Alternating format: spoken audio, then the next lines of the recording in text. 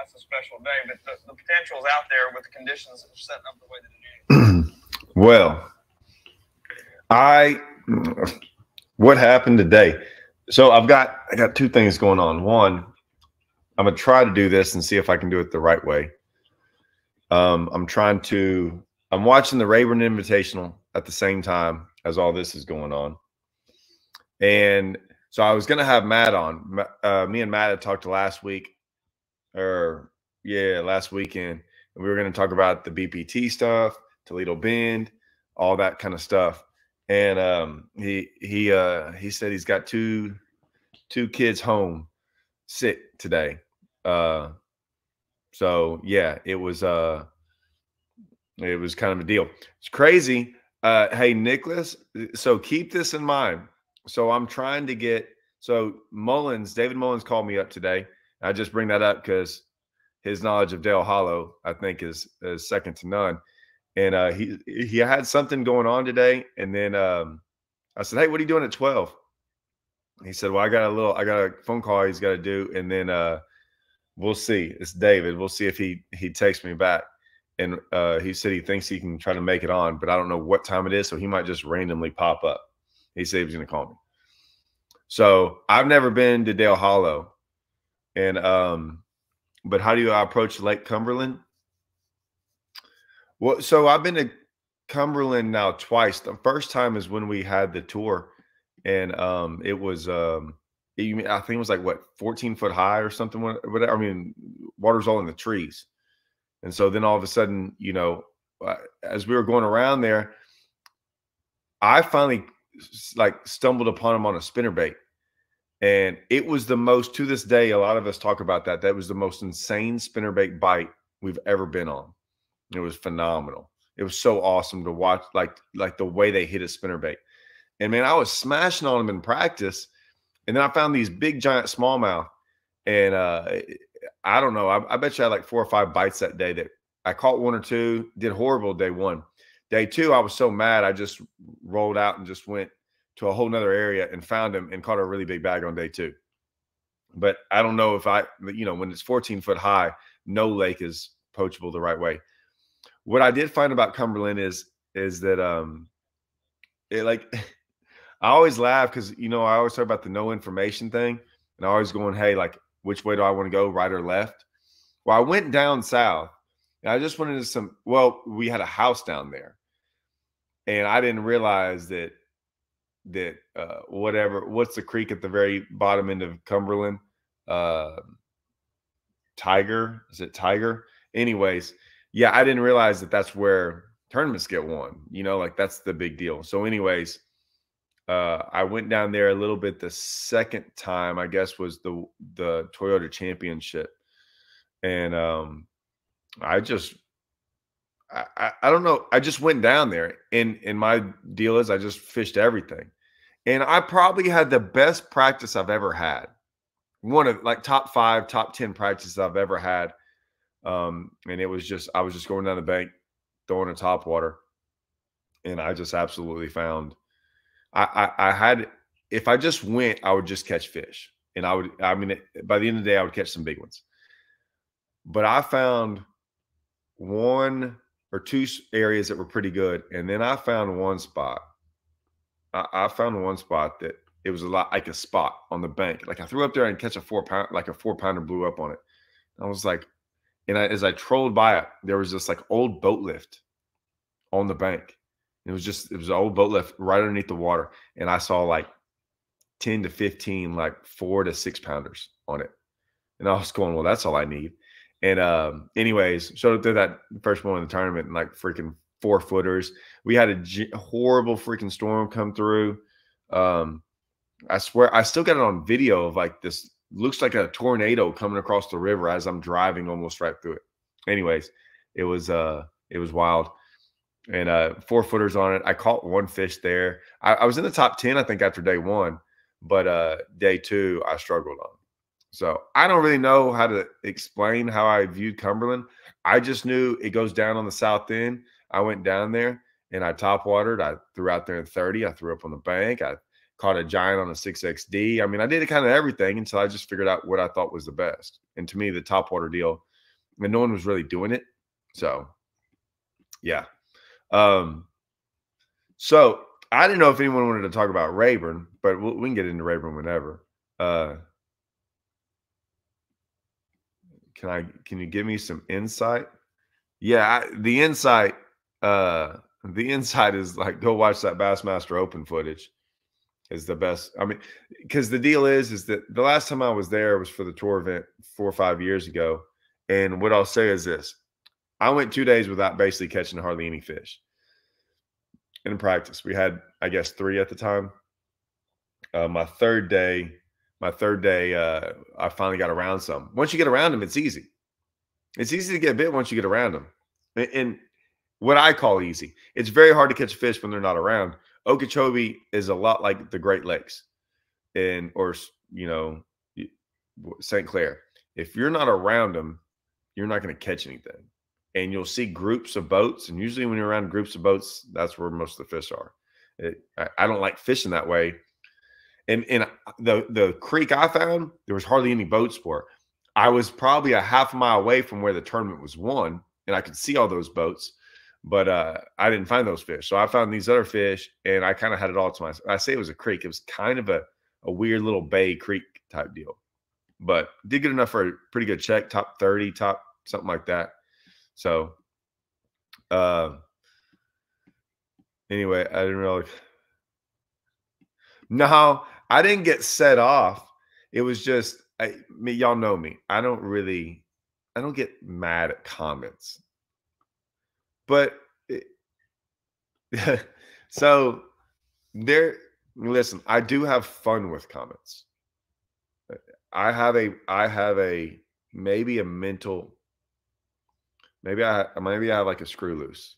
Like I'm a little bit uh mentally it's not unstable. I just have fun. And like there, there's a video on my TikTok that to this day, like last night, I was up last night answering comments from a video I did like a year ago on TikTok. That I like, I even read my own comments and I'm cracking up laughing because it's so much fun with these people. It, like the people, the people that leave, the people that leave comments the way they do are so much fun to interact with. And I there's nothing more fun. And and I ain't gonna lie, I loved when Randy Flowers um was around because when he would do stuff and there were some things that got out of hand, but when people were like would get on him about his spelling, and then he like they didn't realize that was part of the the shtick, right? That was part of his deal.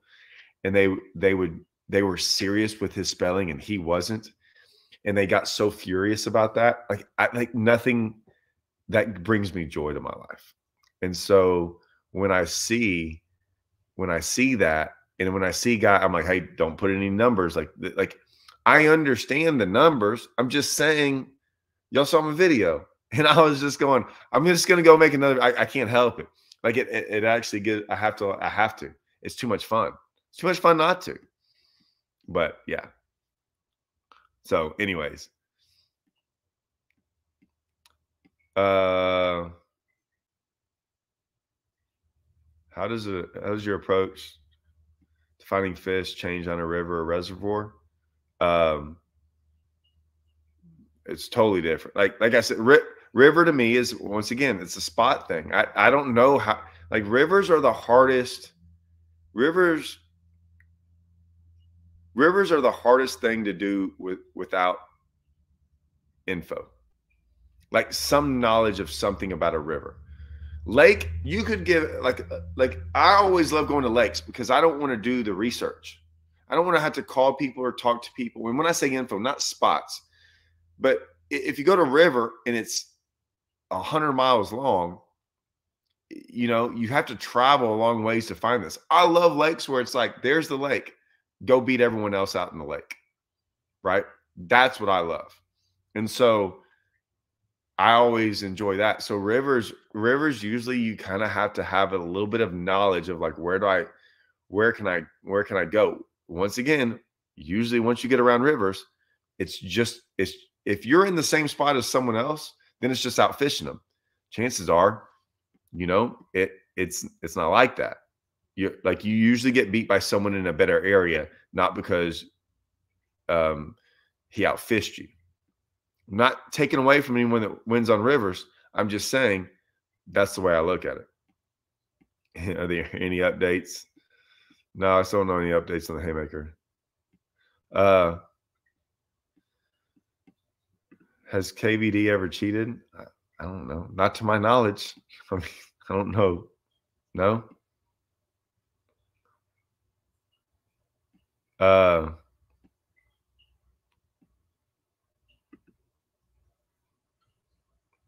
uh, I, I don't know about the live scope. I, look, I know there's a difference between the transducer. I don't. I, I'm not going to comment on that and tell you which one. Like, I, I don't know. I can't. I didn't go from one to the other and then like on the same unit.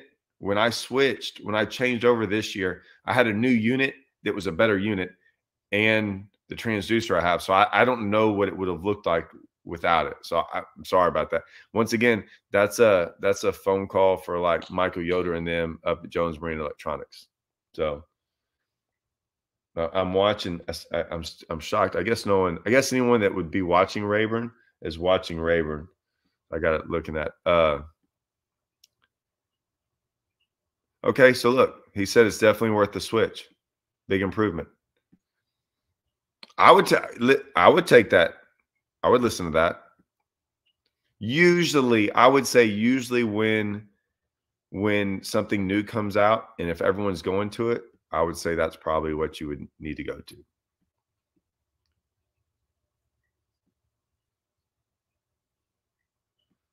I had one of those exact same batteries when I was done with it. Used to start a fire. Phenomenal stock. Like that's the thing. It does. It does. Um, it does work as two. Like those batteries are the most unbelievable. Like they will start a fire. Like they, they'll start a fire just about as good as a, a month old Christmas tree.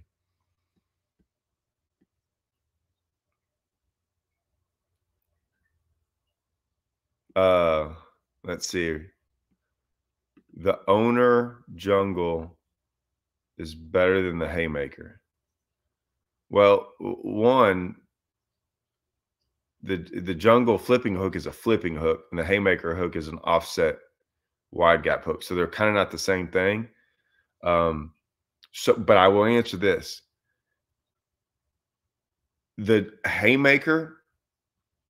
So if you're going to compare jungle hooks to other flipping hooks, it's good. If you're going to compare haymaker hooks to other offset wide gap hooks, the difference is a mile. Like the haymaker is 10 times better than all the rest of them. So uh, I would say it, I use the haymaker. I'll put it this way I use the haymaker to flip and to do everything. I would not use the owner jungle to. So um I change out the hooks on my hybrid hunter. If if I'm fishing a tournament, I'm I'm changing out my hooks anyways. But yes, uh, I'm gonna go change them to um, the owner Zowire hooks. I still put number fours on them, but yes. Uh,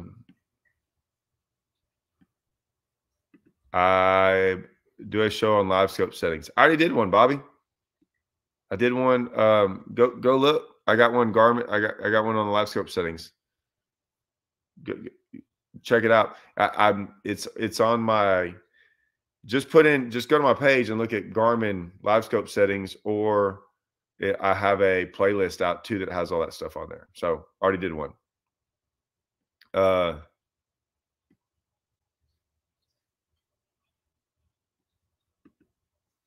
Um, are you ever concerned about running the trolling motor at the same time you are reeling in your line and it scaring? Oh, I, I okay, hold on. I, I misread that. I thought it was going to be another question. Are you concerned about running the trolling motor at the same time you are reeling in your line and it scaring bass? Yeah, I don't. Okay, well, I, I was I was expecting to be like, are you ever worried about it in your line getting hung up in your trolling motor? Um, yeah, I try not to touch the troll motor. Um, so I yeah, I try not to touch the troll motor when uh when that's going on. But I will say I will say that I, I'm so yeah, I try not to, but sometimes you have to. But yeah, I think most of us try not to be on the toll motor when that's going on. Um, if you're far away, it doesn't matter. I think, I think as you get closer, I don't know if it matters whatever you do. Like, like once they get close, it's it's not good. Uh, I agree. It's not a hundred times better if you can't get them, but it's still a hundred times better. Uh, uh, Milliken blew out Tiny Naconiche. Naconiche has been blown out forever. Um, and he did it all before the rain, and it's gotten a whole bunch of dirty out there. It's going to be like guys catch giants out there all the time, anyways. And we've caught a bunch of tens out there. Um, I can't, I think I caught, so I was really nervous when I did the pro team journal out there with Phil Marks on the pop and perch and uh and I was nervous because I knew it was going to happen and you know showing showing us catching 60 well it only showed us catching 30 40 a day out there but we were catching like six they they, we had so many fish catches they couldn't put them all on the show and uh we did it in less uh, 4 hours. Maybe well we we kind of had to split it up because of rain but like 4 to 6 hours we did the entire show with like 60 fish catches unreal I wanted to keep staying out there, but we didn't. Um, I said, "Hey, man, we hadn't caught a big enough one, and we had caught some like sixes." And I was like, "Yeah, yeah, but we're gonna catch a big one, I promise." And me and Jason went out there the next day, and we caught an eight and a nine. And because I was like, "Hey, man, I catch one over eight or nine every single time I come. I'm usually out there all day long, but I catch one over eight or nine on a frog. But it's been changed. It's changed a lot, but I don't, man from what I see with most of these guys, it's just I don't think it's gonna change anything, you know. Um yeah, I like so no one's asking about Rayburn. Oh well, maybe our people now. Um if y'all want to get into the Rayburn thing, what's going on with it? It would be cool for you live stream and see your endpoint.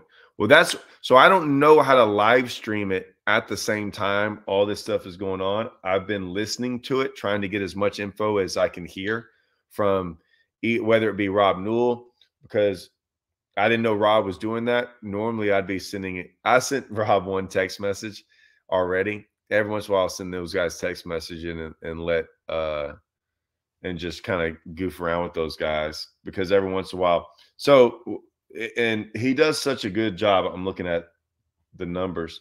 He does such a good job. But even I've texted JT Kenney and some of those guys on our lakes, they'll text me, What do you think about this? Um, you know, Jody White texted me the other day uh, about what was going on at Rayburn, what I thought about some stuff. Um, what I'll say is, and I'm looking at the weights, I I thought it was going to be so I, I know a lot of y'all don't look, but I mean, like on my social media, I went out there Tuesday. I caught one over nine, one over eight, one over six, and catching fish was not a problem. That was easy. So I am, I'm not shocked about. And and, and let me be clear, all those places were places that um, I hadn't fished all year, or like like the fish had changed a little bit, and so um I was checking different things out and kind of figured some other stuff out. What I was shocked about, since I was Tuesday, I, I was out there Tuesday with everyone being out there. Of course, I get my phone calls, and you know, guys. When I say phone calls, I'm getting phone calls for like my buddy, my old fishing partner Brent and Russell called me. I was like, "Yeah, man, whatever I'm doing, no one else is really doing." And I'm watching, and no one else is really doing what I was doing. Um, they're not throwing the same baits, and they're not I, it listen it's it's kind of hard to tell like but I don't they're not they're not kind of fishing the same type of water. They're close, but they're not. From this now this is just from me listening. I'm very nervous. Like I, I would love to do this stream thing and I'll be brave. Y'all know me. I don't really like saying things that I don't know to be true.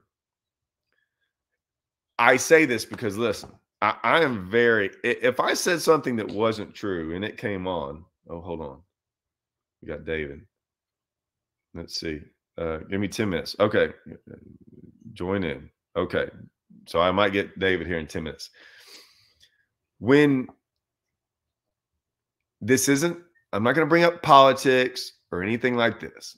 All I'm going to say is this. When these people on the news, and you can, you can, whether it be, I don't want to get kicked off YouTube, but over the past three years, some things have been brought up on the news, right? And that, that like, y'all just, you know, bear with me on this, right? And they said all these things, and everyone was all in a panic. And then the next thing you know, none of it to be true. And they just, the people that said all that, just, they didn't lose their jobs. They don't apologize. They don't do nothing. It's just, well, I said it.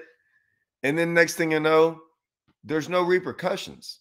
I'm not saying they had to get fired, but it's not like I would be so embarrassed like I like I would be shunned. Like I'd be like I'd like walk around like this all day, right? If I said something so outlandish and so wrong with such fire behind it. And then I have to come up there the next day like nothing ever happened. Right? I don't want to do this on Rayburn and talk about Rayburn about what I think's going to happen. I can, but I want everyone to know first off that I'm like it's just a thought and i man i could be wrong like i don't mind telling you i might i might be wrong about something about fishing on Rayburn because like a lot of times what we think is going to happen we're wrong but i would do my best um i thought i thought most people were going to go live scope Rayburn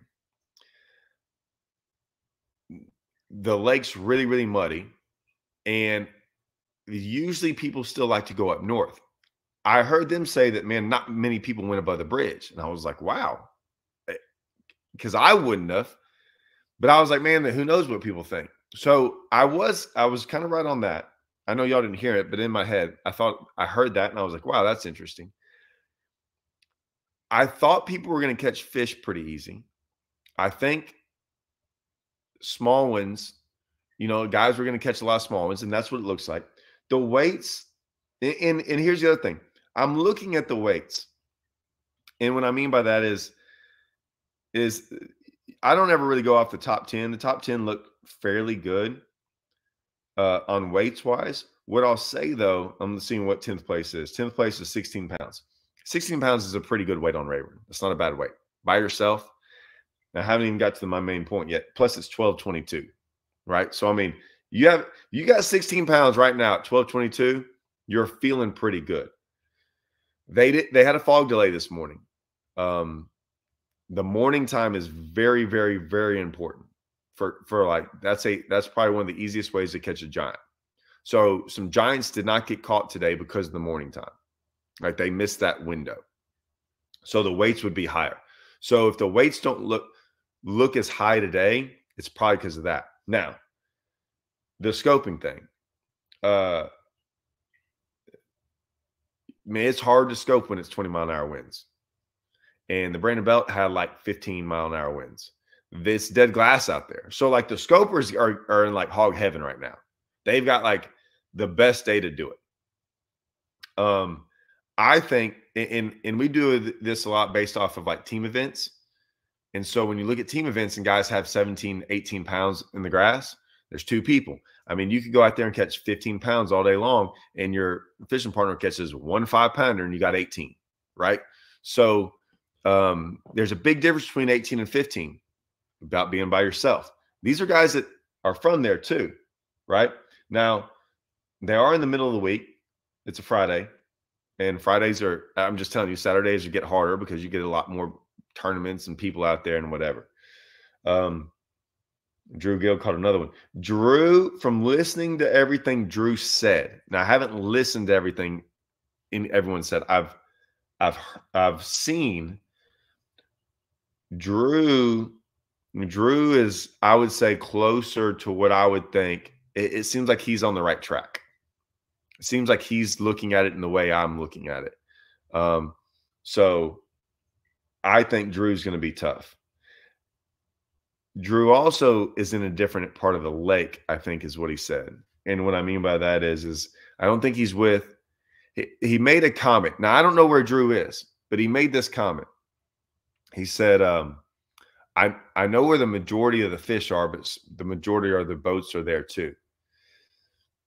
We talk about this on Rayburn. There are parts of the lake on Rayburn that we practice at times, and we're hoping there used to be years past there used to be a lot of fish there, and and there's like the schools of fish. You, like you can have a phenomenal day there, and then you go there the next day or in the tournament day, and they're not there, and you and you you go really downhill quickly. Like you can't save yourself there because the population of fish is not as big. So what I, we mean by that is is if you have a big population of fish in certain parts of the lake, it's easier to save yourself with a 13, 14 pound bag, 15 pound bag. If if not, you know, it, it, you can weigh in 10. Now, you, now your practice might have been phenomenal, but we've seen that in certain parts of the lake, and we kind of stay away from those because it'll bite you, you know. So I now I don't know where he's at, right? And I and I doubt Drew will admit that he doesn't know Rayburn like I know Rayburn. So maybe maybe it's not that big of a deal. I just don't know. So I listened to him, um, and and what I saw was is the live scoper, the the catching fish on live scope was freaking just catch fish. Like that was easy. Um, you catch two pounders all day long. Three a three pounder live scoping was a was a was a was as a well above average fish in the sense of you might have to catch 10 to 15 to get one three pounder. Um, that being said, that's that's the three pound deal. Now catching a big one is pretty much the same deal. So like when I was out there, I caught some big ones doing it, but uh, it's not like you catch a whole like your first five might weigh 25, your second five might weigh 11. Does that make sense? Because we always kind of go by that. So um, now they don't need Dakota was on there talking about how there's going to be some 25 pound bags. There might be, and I don't know. I, I don't know how many people right now, 97 people have talked about catching a fish. No, 99. So I don't know if everyone's doing that whole weighing them in. They made a comment that there could be penalized for for not using the scale, but maybe they only gave the scale to certain people. Maybe and maybe if I go to the end of the comments, someone will talking about that. But uh, so so far, I haven't seen that. Um. All right, I'll try to catch up. Someone asked about jerk baits. No, I don't. I mean, I, I fish jerk baits, but I'm not this like jerk bait guru. So I mean, I because he was asked about suspended dots and stuff, and I just get a jerk bait and just throw it. You know. Um, when do I use haymaker? That's a long. So um, just go to any of my hook video. I've done a bunch of stuff about hook videos, and uh, that is on there. I talk about that a lot. My last hook video was about the cutting point. Uh, so I think if you just type in tie cast line and hooks, and they'll come on there. Ever thought about doing a deep water type series on the Mountain Grass Lake? Yeah, yeah. I don't pick. I don't plan on doing deep waters or Alabama waters. I I do them on tournaments, and they just so happen to be grass lakes. Like I was going to do the Eufaula one, right? I had it all. I had like literally, I had I had put all my footage all together. It was all, and when I say put it together, um, I have to put it all together before I start editing. So I had had every day ready to go. I, I had I had there's a system I have to do to it all to to to do it all, and then they put out the schedule that had Eufaula uh, for the Bassmaster Open and the Toyotas. Now, at the time, I didn't know I was going to do, I wasn't going to do the Bassmaster Open. Maybe I still do it. I don't know. But the Toyotas came there, and I'm like, man, I'm just not putting it out. Um, I'm just, I'm just, I'm just not, I'm not going to. And I've always been, y'all know me. I'm honest about that. I'm not going to, to do that. Uh, sometimes because like I could put it out there and I know it's great, but man, I might lose like 10 grand in the deal. And it's just not worth it at the time. Now I got it, and I put, might put it out later. I might put it out after this year, but yeah, it, it's not. I don't plan. I just have to have all the footage. It all has to kind of work out, you know. Um, leaders offshore. No, no, no. driving on top of fish, short reelings. Yeah, I mean, let me see. Give me a Mullins is almost there. Um, yeah, like I said, uh, the live scope, like there, there's a way to live scope some big ones up right now. And I don't know when I say Drew Drew Gill's close to what I think you can be doing. Um, other guys might catch one here and there, but I think to catch multiple, like you can always catch one live scope and randomly. Uh, I'm not really talking about today. I'm talking about over, over the next three days. You better be on a uh, on a kind of a plan to do it. You can get lucky and catch one, but um, that's Rayburn. I mean, there's gonna be guys catch freaking. There's gonna be a guy go out there and catch 40 fish on a rattle trap and catch a 10 pounder, right? I wouldn't count on that to do that every day, right? Uh, Nick's LeBrun's obviously catching the ones you want to catch if you're going to go do that. He's catching good ones, you know, in you know, like the like normal good ones in there. And then now if he catches a 10 pounder, now it's totally different. Like it's not as random because he's catching decent ones with it. Uh the other day he said Carolina rig and two foot of water. Do you keep the leader length the same? Yeah, I'm doing. Uh, um, I don't want to give it away, but I, I'm doing a Carolina rig video shortly. I would highly, highly suggest watching it. What I'll say in this, I think everyone, everyone overanalyzes the Carolina rig. They put way too much thought into it and stuff like that. Do you keep the leader? Absolutely. I keep the leader the same all the time. And I couldn't tell you what it is. I couldn't tell you the how, how many inches it is or what. All I know is is when I hook my my hook onto my reel and my weight comes up my rod, that's how that's how long I know it should be. I don't like measure it out. I just kind of guesstimate. And if I'm within about a foot, if it gets too long, I'm like, ooh, my weight's too high up on that. And I know it's gonna be a harder thing to cast. And if it's too short, it just looks stupid. I just don't like a short one. Like it like it looks like I don't know what I'm doing. Like you ever see one like one of them little short, where is it? One of little short Carolina rigs. So I'm just like, that doesn't make sense either. So um I can answer this. Uh, you okay for two two things. One, not they're not selling them. So many of these baits are not sold to guys like you. And so if 75% of the guys um, don't care about hooks, they're never going to change hooks. They're going to put the same hooks on there, right? Just put hooks that are decent enough. Anyone that wants to put premium hooks on there and split rings, one, well, I'll get into the split ring thing. I I don't ever change split rings. I've never had problems with split rings in my entire life on any bait except except one thing.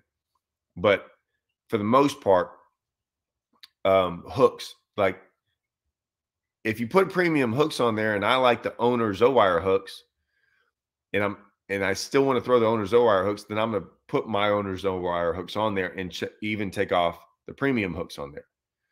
And and you probably have a preference, Robert, for your premium hooks and you want to put those on there. And so I think that the thought process is this 90 75% of guys aren't going to change the hooks. The guys that are going to change it to the ones that they prefer anyways. And so there's a lot of premium hooks out there. It's it's not worth it's not worth then charging a dollar more for every bait, right? And then everyone else, the, the 75% guys, right, are are, are not going to be happy. Does that make sense? You know, um, the only time I would ever, the only time I'll ever change out a split ring is if it is a single treble hook. And there was only like two baits in the country that I ever even threw that um fit that category. And I don't throw them really anymore because they, I think that was the first of their, they were swim baits. And yeah, because you could unravel a split ring. But for the most part, and I'm sure guys are going to get on here, but I'm like, I don't know. I think I've thrown a lot of baits in my lifetime, and I've never really had a problem with split rings ever. Um, all right, I answer that. No. So do so do you think live scope videos no one really shoots no, don't find it odd at all. The I talk so much about non-reality. Oh, okay. Li- listen, my video on Monday. I'm not gonna put it out Sunday. Normally I put it out Sunday, but Monday, um, because the Super Bowl's on Sunday. I talk about a little bit about like learning how to use live scope and stuff. I talk about this all the time about not fake video. They're not fake videos, but this is what all these videos like this. They're doing that because now I'm gonna make a video about this. Social media and videos and all these things. I look at so many different things. And the number one thing I look at live scope is I, I check the first thing I see is where's the range? How far out's the range? And they show these beautiful videos, right? Watch this. Hey, I'm on, I'm doing a live podcast right now. So, no, hurry up though. What do you need? What, what, what you got? Or can I call you back? No, yes, it's, it's safe to run up there. Okay. Yeah. No, what, you're good. How about? So uh, that was a guy from FLW. they were trying to run Rayburn. And so he was asking if it was safe to run where he was asking. So, anyways, uh, yeah, they don't, right? They don't like me that much at FLW, I guess, but they, ha- you know, those guys all do. Maybe the top guys don't. But, anyways, um, I always check that stuff out. I always check out to see because all the pictures are going to look good at like 30 feet out. And that's how they're trying to sell it for y'all guys. And it's all, and then you get out there and you're like, then you're like, look at yours and it doesn't look like that. There's so many things that happen. Like I always tell people, man, like they're not being, it's not that they're not truthful, but it's not reality. None of us go out there and, and fish at 55 foot out. N- none of those guys on none of those guys right now. I'll bet I'll bet a lot of money. This is the one thing I'll bet money on. Not one of those guys that's freaking out there in the top 20 live scoping has got it out 55 foot. They all got it out further. So why do you care about a video if it's at 55 foot if that's not what you're ever going to do? But they don't, they most people don't look at that. Right? I'll give you another one. When side imaging came out, every side image video you've probably ever seen was a video done within the first month of when they own side imaging. Anyone that has side imaging will, will tell you that their picture quality over time gets worse. Right? So a lot of times you're looking at yours and you look at this this video put up and like, yeah, my screen, my my screen, mine doesn't look like that. Well, it's not brand new. I'm telling you, you go out there brand new, like day one, man, it looks phenomenal. Right. Um, I will say live scope though, I've had it for a year. I man, it it looks the same to me. Now I've never hit it on anything or anything like that. And it's and remember, it's not it's not in the water. You're not running around with it. I mean, you're running around like dragging across stumps and all kinds of things. I don't know, you know, your side imaging transducer, but I've never that I'm just telling you, no, it doesn't, it doesn't, doesn't surprise me at all. It's what I talk about that you have to all this social media and YouTube stuff. It's why I try to do things without so much of, and maybe that's why I don't have subscribers like some people these guys have, right? Because I'm trying to be truthful about reality. Maybe it's not it's not truthful. It's like what reality really is, right? That's what I'm saying. So, uh I think it is better coverage than BPT on Toledo, by the way. Um oh, and how would Toledo compare to uh, Rayburn in a few weeks for the elites? I don't know how it'll compare to Rayburn. They're going they're going, I'm not saying they're going to catch them better.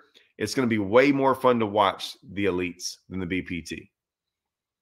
Um, one, and and listen, this isn't a knock on the BPT. This is this is saying it's going to be within a couple weeks. There's going to be a whole bunch more fish shallow.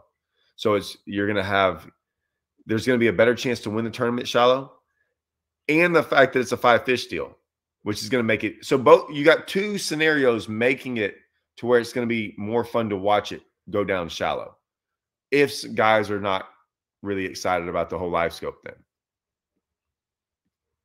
you know? Uh people lost their jobs because of media spread. Not all of them so uh youtube is dock talk on steroids? Look man i that's yeah i don't watch a lot of stuff on youtube. I really don't. I don't and and and i say things i'm sure there's some guys on here that like why is he saying this again? Um because there's even and, and don't don't take any no one take any of this the wrong way but you're like hey todd why, why don't you do something like this? Um like like the garmin settings. So like i do like i don't know that much about youtube but like just enter my name and then put in what you're looking for chances are i've done a video on it so like i've done one on garmin live settings i've done one on the I've literally almost done one on the hooks, the difference between the haymaker and the cutting point. And so um I say stuff over and over again. So because you know, not everyone watches this. But but what I will say is is you know how many times I'll I'll say, hey, guys are probably putting this up on YouTube. And then someone will be like, oh, he's referring to this. No, I'm not. I'm really not. Someone said that the other day. Oh, he's referring to this guy. And I'm like, Never watched that guy's stuff. I'm probably pretty good at calling it because I know what people want to like I know how people do stuff. And so yeah, don't ever think that I'm like, "Oh, I watched a video and be like, yeah, I'm calling that guy out." I'm not. I just know how people do stuff. And I'm like, "Yep, yeah, I'm never going to do It's very easy. It's kind of like I'll put to you this. It's kind of like it's kind of like if you deal with cheaters enough, right?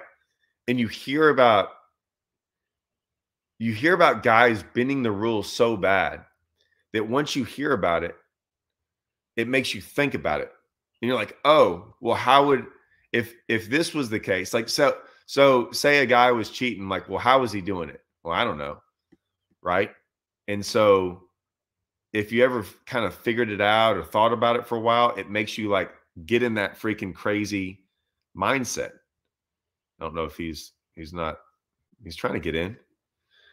And so you start thinking about it in a different way. Oh, you're gonna love this.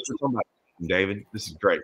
I, we really weren't, but I, he was talking about YouTube stuff. So, anyways, guys, if if you think I'm talking about some video, I'm probably not because I I'm I don't have time to watch it. David, I can promise you, half the stuff I'll I'll call up David every once in a while, or he'll call me up and we'll start talking about stuff. And David doesn't know anything. He probably doesn't even know there's a tournament going on in Rayburn. I actually did know that one, but anything YouTube related, I would I couldn't tell you. Right. Well, I can tell you that it's not. I can tell you if I was not in the top twenty on Rayburn right now, if I was fishing, I would be getting a text message from David asking me why I didn't fish the tournament. He loves texting me if I don't freaking make a top 10 somewhere and go, Hey, I guess you didn't fish this thing. Well, Rayburn and Toledo, that, that should be, shouldn't it? Look, so I didn't I didn't get to tell you why I'm not fishing it. Um, I Let's thought about it. Well, I thought I, I like I called I called up David Fennell, and I was like, "Hey, man, uh, what's the possibility of me even getting in it?" You know, I wanted to see that. So he said, "Pretty good, like real good, obviously." Yeah. And so I was like, "All right." And so I was like, "Wins off limits, things like that." Well, uh, me and Russell had a Bass Champs and a Brandon Belt tournament. Uh, the Brandon Belt tournament was free, uh, and there was two. So there was two tournaments that I would miss with him, and um, I thought about it for a while, and and you know, it, it, it affects him too because we had both planned on fit. You know, we'd set up our tournament schedule months earlier, and so you know, I just don't like. I don't like screwing over my buddies you know. Right. And I wouldn't have screwed them over, but I mean, I just, I, and I also didn't want to miss out. Last year when I went out there, I didn't. I kind of figured out some things, and I I knew I'd miss like a month of, of not practice, but being able to fish in January. and so um, I really wanted to kind of learn more than fish this tournament. Do I wish I was out there? Um, yeah, probably. I mean, who wouldn't? Right. But I'm not. So, especially on your home pond. Yeah, but so so so I will say a lot of guys talked about that. My first ever tour, uh, we got to fish a tour event on Rayburn. I, so I learned this a long time ago. You know, I, I guarantee you can say uh, agree to this. If you ever start circling lakes like for next year, like oh, I'm going to catch them right here. Usually your worst tournaments. Yes, and let me tell you something. When I fished the tour on Rayburn, it was a high. It was uh 11 foot high. They almost had to cancel it. It was almost going over the spillway, and every local bit of local knowledge I had of that was thrown out the window. Yeah. I actually did horrible. Um, and so I've learned that like sometimes though I've won events like that, but I always tell people I'm like, man, you just don't ever discredit Mother Nature. I mean, he will throw a, you know, and so this lake's come up five foot in the past uh two weeks, maybe, maybe six foot. Mm-hmm. I think mm-hmm. six foot actually. And so uh, when I went out there Tuesday, I went out there Tuesday because we fished that Brandon Belt tournament and it had come up three foot since then in like five days. So I, I wanted to kind of stay on top of things. It finally leveled out um, over the last day and a half, I think.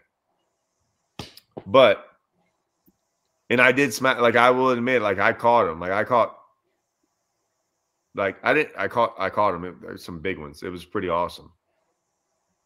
But like I said, these guys are gonna these guys are gonna uh they're doing probably what I thought. I think tomorrow their weights will go higher for some because they'll get that morning bite. Yeah. I actually watched some of it this morning. What'd you think? About about what I thought it'd be. Some people scoping, some people fishing grass, you know. You know. It's more than I more than I usually watch. This is I'm kind of almost ready to fish now because I've had so many months off. Keep keep going, David. Go ahead. So yeah, I can't. I need I need my months off fishing because I can't hardly handle this.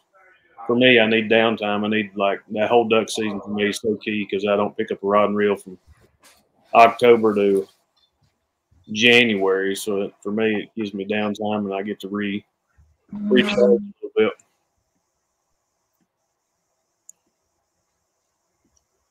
Keep going. Yeah, I'm just talking about recharging, man.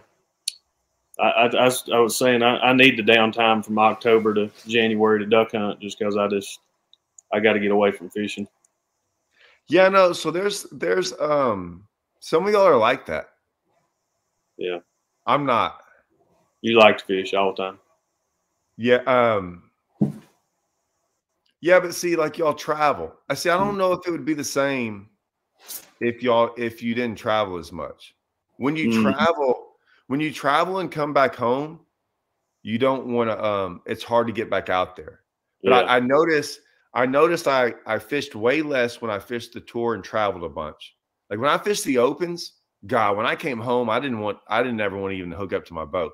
Yeah. But now that I'm home a lot and fish more locally, I want to fish more, way more our, our lakes are so terrible now, like Douglas and Cherokee and uh, Loudon and Watts Bar. They're so awful that like I don't even want to fish them home just because you go ahead and you grind out there on the tournament trail to get you, you know, some some bites, and like you don't want to come home and fun fish to catch three to six fish all day, you know. So I, I don't even hardly go anymore to our lakes. That, Do you not have any cool? Because um, some guy, one of the first questions I has was like, how do you approach um, Dale Hollow and Cumberland as opposed to Rayburn. And I and I was like, oh my gosh, that because I didn't even let you know, no one even knew if you were coming or not. So I was like, man, that's the question for freaking Mullins, not me.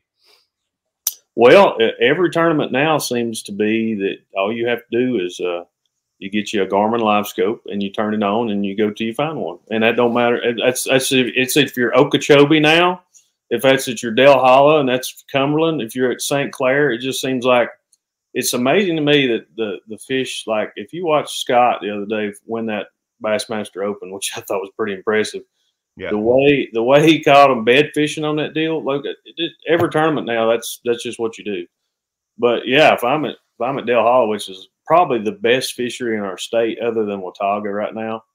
If I'm at, if I'm at Dale Hollow, I'm probably going out there and looking for some roaming on some bait or, you know, in some of those guts or something. What? Why? If it still warms up, that's one of the best jerkbait lakes I've ever been to. But uh, just a great lake. Can't go wrong going there. What do you all not have like good? So like you went to Lake Nack with me. Remember? I- yeah, is that what? Oh, yeah, yeah, Nacogdoches. Yeah, Yeah, yeah. yeah. So you went there with me. Um, what, what were you down here for? Um, I, I don't remember what I did yesterday, so I can't. Okay. I can't. you were down for something, and you were like, "Hey, let, like we went and fished." That It was, was- when I won't even talk about, it, but that was when you had your first bite, like your Yeah. first like true. yeah. Yeah, that that kind of rethought, like changed what you thought about some things. hmm And then, um, do you not have places like that? No, there's Really? The only place that's got grass. Uh, I think it's coming back on Chickamauga. I think it's coming back on Watts Bar a little bit. Dale Hollow's No, got no, no, place. no, not grass, but do you have like lakes, like like little pond, like little little twenty five hundred lakes that are like Not on this end of the state. They got some west west side of the state. Uh, like uh, if you ever watch or read Bass Times or Bassmaster magazine, they have the day on the lake with the pro. yeah. All those all those lakes are in West Tennessee, middle to West Tennessee. Okay. They, do all those articles on. So yeah, there's some, but they're not not to my knowledge, none in my area that I know of.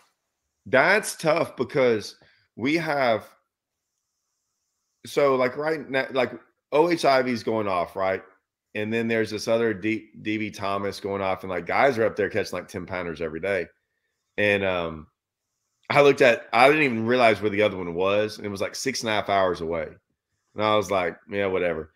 And then and then we got like Lake Nack is like 15, Kurth, Pinkston, Naconiche they're all less than maybe 35 minutes the furthest Mm-hmm. for me. I no doubt I can catch a 10 and every I've caught a 10 out of every one of those places. I'd say I've caught some of those I've caught like 20 over 10 in some of those. Like Lake Nack, I've probably got like 10 over 10. But I've got like a, a lot of those. And then I went to Rayburn and I caught 11, 13 the other day and then one almost 10 uh Tuesday. So it Rayburn is like far to me. Like I would never go to Rayburn to fun fish. Right. That's what's- that's the crazy part. I don't go to so I I was only going to Rayburn to practice because we've got um a TXTT coming up and a Toyota coming up, all starting next weekend. So I just go there for practicing because even when I'm there, like I don't sit around and catch fish. Like I'm always just looking for more and more fish, you know. But like these other places, eh, it's just it's just crazy to me because you have to bring up Dale Ho- like you're bringing up Cherokee and these lakes that you live by, and like I said, I would never go to Rayburn for fun. Yeah, I would. act- I would pro if if if Del Hall was close because that's about two hours, maybe two and a half hours for me. The first check I ever got in my life in the BFL was on Dale Hollow. But if I was going to, if I lived closer, I would definitely probably go there and fun fish because it's a good lake. It's just too far for me to drive, and you know I don't I don't feel like dealing with it. But yeah, our, yeah, most of our lakes now are just fishing so poor. I can remember like Douglas, it always took 20 plus to win there. There was a tournament uh, last week or something, maybe took 12, you know. And like Cherokee, it always took around 20, 19, uh, eight, high teens to 20 pounds. I mean, we've, we've weighed in 23, 24 in February there before back in the day. And now if you've got 14, you've done real good, you know. So it's just, they're they're not, they're not even worth fishing anymore. And I'm not sure why that is, but they're just, uh, they're not very good. Right. This this Nick guy wants to know how he can get a get a hybrid hunter down to eight feet. I guess with some lead strips, maybe. Nah, we, we got we got uh I agree with them. I agree with them that it's it's cool to get a tape foot. We we're working on something. It- it's kind of been back and forth on on on it's a lot that goes into it, but I mean we're working on something. Uh I like He has won the most money on that bait outside you, though. You see Right. that? so he says. That's that's a lot of money. That's that's he, he might be right. It could But he's throwing the junior. See, it's hard for me to like. I've thrown the junior. I bet you I never even threw the junior last year. How deep will the junior dive? Four and a half to five, four and a How half. deep, how deep will the regular hybrid hunter dive? Yeah, Man, I don't even like saying stuff like this on it because there's going to be guys get on here. I, I, I, I, I view it probably. It's kind of like me asking you about a crankbait. How deep can you get a crankbait? And that's a loaded question, isn't it? I mean, I can tell you. Well, I, well, yeah, but it's a loaded question. But, I I already mean, know. How how far can you throw it? Exactly. So it's like, so on my setup, and if I'm going to throw the hybrid hunter, I'm not going to sit there and go, well, I can put it on 12 pound test line and get it eight inches deeper. You could, but I'm not going like if I mm-hmm. have to do that, it's probably, I, I'm probably not going to worry about it. But yeah, five foot, five and a half, maybe. I remember telling Copley the story about us catching him on a 10. He said, How can deep you get a 10? Like 27? I said, Copley, we had the wind at our back one time, and there was a school in 32, and I caught him every cast with a 10. Yeah. The, the top of that was 32 foot. So it's just You, depends, on, depends on how far you can throw it. you get a, you get a 10 mile an hour wind in a 10XD and get to going with it. Oh, yeah. you can you like that six XD is the same way. Like I'll get out there and and like I always like about a three three to five mile an hour wind, like a little wind, because I don't one I like to crank when it's calm. I don't like really cranking when it's windy. But I mean, you just get that little wind and it's like you can get you can get 20, 25, 30 more feet easy. Like eat like well, maybe way more than that. Maybe like 50 foot. you talking about yards of the cast or feet of the cast. Feet of the cast. Yeah. Yeah. I mean, you can get you can get it. I mean, it and you can feel it too when you like sling it out there, like, oh, that's like we'll be out there fishing and like one of those casts, and we're like, oh, got a hold of that one. I mean, because it'll just Mm, just keep going. yeah, you almost have to stop it. Especially when the 6XD gets a little bit of water in it, and then it really gets to going Yeah. But I, dude, I can remember like there's a funny story when we fished Chickamauga for the first time in the Elite Series, and I think uh, I don't remember what year that was 14, 15 or something. And that's when they had the bass thing, the Bass Fest deal. And anyway, I, I didn't do any good in Chickamauga because I did not know. It's the first time I've been on Chickamauga, and I didn't know, know how small that place fished. And I was like, I just can't pull up on people and pull. And I didn't know enough places out of the way to to to do well. So we had to go over to Nickajack. And if you didn't make it through that tournament, you could go to Nickajack and try to fish your way back in to fish Chickamauga to get a check. And I remember going to J- Nickajack, and you know, back in the day, we were cranking. We had, you know, DD twenty twos. We had uh, three quarter ounce hot lips, Luhr-Jensen hot lips, and um, uh, DT sixteen. Maybe they were kind of newer at that time. I'm trying to think what else the old school plugs that we used to throw a lot. Fat free shads. You know, the old Mark Davis ninety fives. I like the fat freeze. And I can remember pulling up on a hole at Nickajack, and those fish were in uh, 20, like 21, 22. And I couldn't get a 6XD to them. As far as I could throw it, like I could hit 20 with a with a 6XD pretty regularly, but it was just like they were on certain this little certain lip, and I couldn't get it to bounce. And I'm like, dude, I know what I can pull out. And I'm like, I had a whole box of like three quarter ounce hot lips I hadn't thrown in like 10 years. And I remember pulling those things out. And dude, I couldn't throw that thing from one end of the boat to the other. And I'm like, how in the world did I catch so many fish for all those That years? thing's light too. Yes. And I'm like, how did I catch so many hundreds on that thing back in the day? And uh, finally just pulled out a 10 and caught them every cast on a 10. So, So I, I fished a lot of those because when I was younger, growing up on Livingston, a guy named Ken Seifert was one of the uh, main uh, Luhr-Jensen sales reps. So I used to get tho- those, and then the they were the they made the deep one, and then they called they made one like the br- baby the brush the brush. What was it? The baby brush something. It had like little uh, little oh, on the Luhr-Jensen's. Yeah. yeah, they had a little fin on the outside of the belly. Uh, they Yeah. were called, anyways. Uh, yeah, I called them on Livingston back in the day. I brought this. Listen, I brought this comment up because I. So I wanted that. So yeah, Mullins doesn't fish a lot and comes out rusty.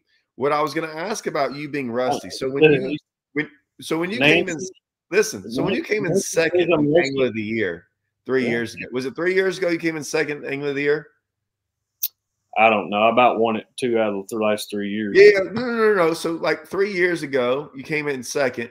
you were leading pretty much from the oh, beginning. Oh, right? yeah, led into the last term of the year. Yeah. yeah, yeah. And then the next year, you almost won Angler of the Year. I think you were you were leading Angler No. of the Year from the get go, weren't you? Like from the Uh, first two tournaments of the year.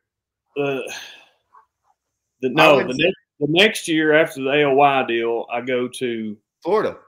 I go to Florida and I get to my first spot, and my trolling motor, uh, the prop breaks, and I didn't have I didn't have a spare, and luckily I was on like five miles from the ramp, and since then I've, I've got a spare. So I drove back to the ramp. They put me on spare. Didn't take five minutes, you know. I drove back to that spot and didn't get any bites, and tried to get up on pad, and my motor wouldn't run and I couldn't figure out what was going on, what was going on, and it wasn't getting any fuel. And I looked back, and there's just fuel going everywhere in the back of the back of the water. So anyway, long story short, I never got to fish that day because I got to troll down the bank to a dock, which had a little small private ramp, and Scotty at Mercury time um, came down and finally got down there at like one o'clock, and he uh, he fixed my motor, and there was a there was a loose connection that I couldn't I couldn't get to that was like up and under something, and he ended up uh, patching it all back.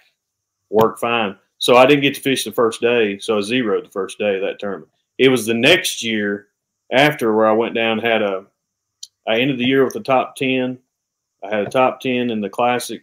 I had a top ten the first tournament at at uh, St. John's, and then I had a top ten at Harris Chain. And that's where I led it. And Yeah.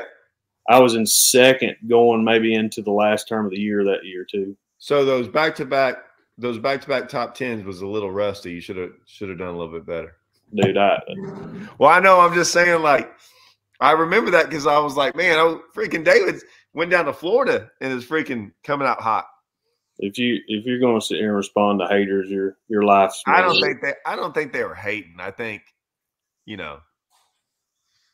Uh. Anyways, my job is just go out there and do the best I can. That's all I, I, got do. well, so this all started with me talk. Uh. So my last video was me talking about haters. Mhm. uh well it wasn't it was i did a battery video and it really wasn't even that bad but they're like man they got you all riled up i'm like no i just i have a david don't even want david will respond to to in a certain way like you do some funny stuff too but they got you like, I, eh, i'm not gonna I'm just saying we respond in our own ways I used to respond a lot more, but anymore I'm just like, you know, it ain't my job to respond to some of this stuff. You know. Well, I was saying, like, I'm telling you, man, I have I have this video on TikTok that's freaking. It's I showed it to my mom last night. 'cause She's uh, she had to sign some papers or whatever, so she was in here, and I showed her this video. And of course, she's just like, "Oh, country girl," you know, and she Yeah. was just like, "Oh, okay," you know. And then I, I started reading responses to her, and she's like, "What is wrong with these people?" I'm like, "Well," and I'm over there. It was late at night, and I was like reading off all my responses back to people. Yeah. And she was like, Todd, Brittany hates it. Brittany gets so, you know, you can imagine like no fun Brittany. Like she's just like, just leave those people alone. And I'm like, no, that's great. All my buddies, I screenshot them. I screenshot them to like, we got a, this big thread going and I screenshot my responses to people and Yeah. they freaking just, they're like, please don't ever stop. And about every once a week, I get a new, someone comments on it and I get to respond to them until because I will respond to the if you respond to me 50 times, I will respond 50 more times. I, I will not stop. And they have, they all eventually quit. And it's it's fun. I was dying laughing. It's it's great. So every once in a while I'll make a YouTube video in response to that. And one was the yesterday. Yeah. Just have fun with it. Uh, That's about all you can do. Just Yeah. pay attention to it. But I'll try to I'll try to not come out rusty rusty there, Nancy. I'll, Hey, do, so I'll try to do better for you. I have my own thought on I, I've come up with my own thought about all this because it's every lake is like this.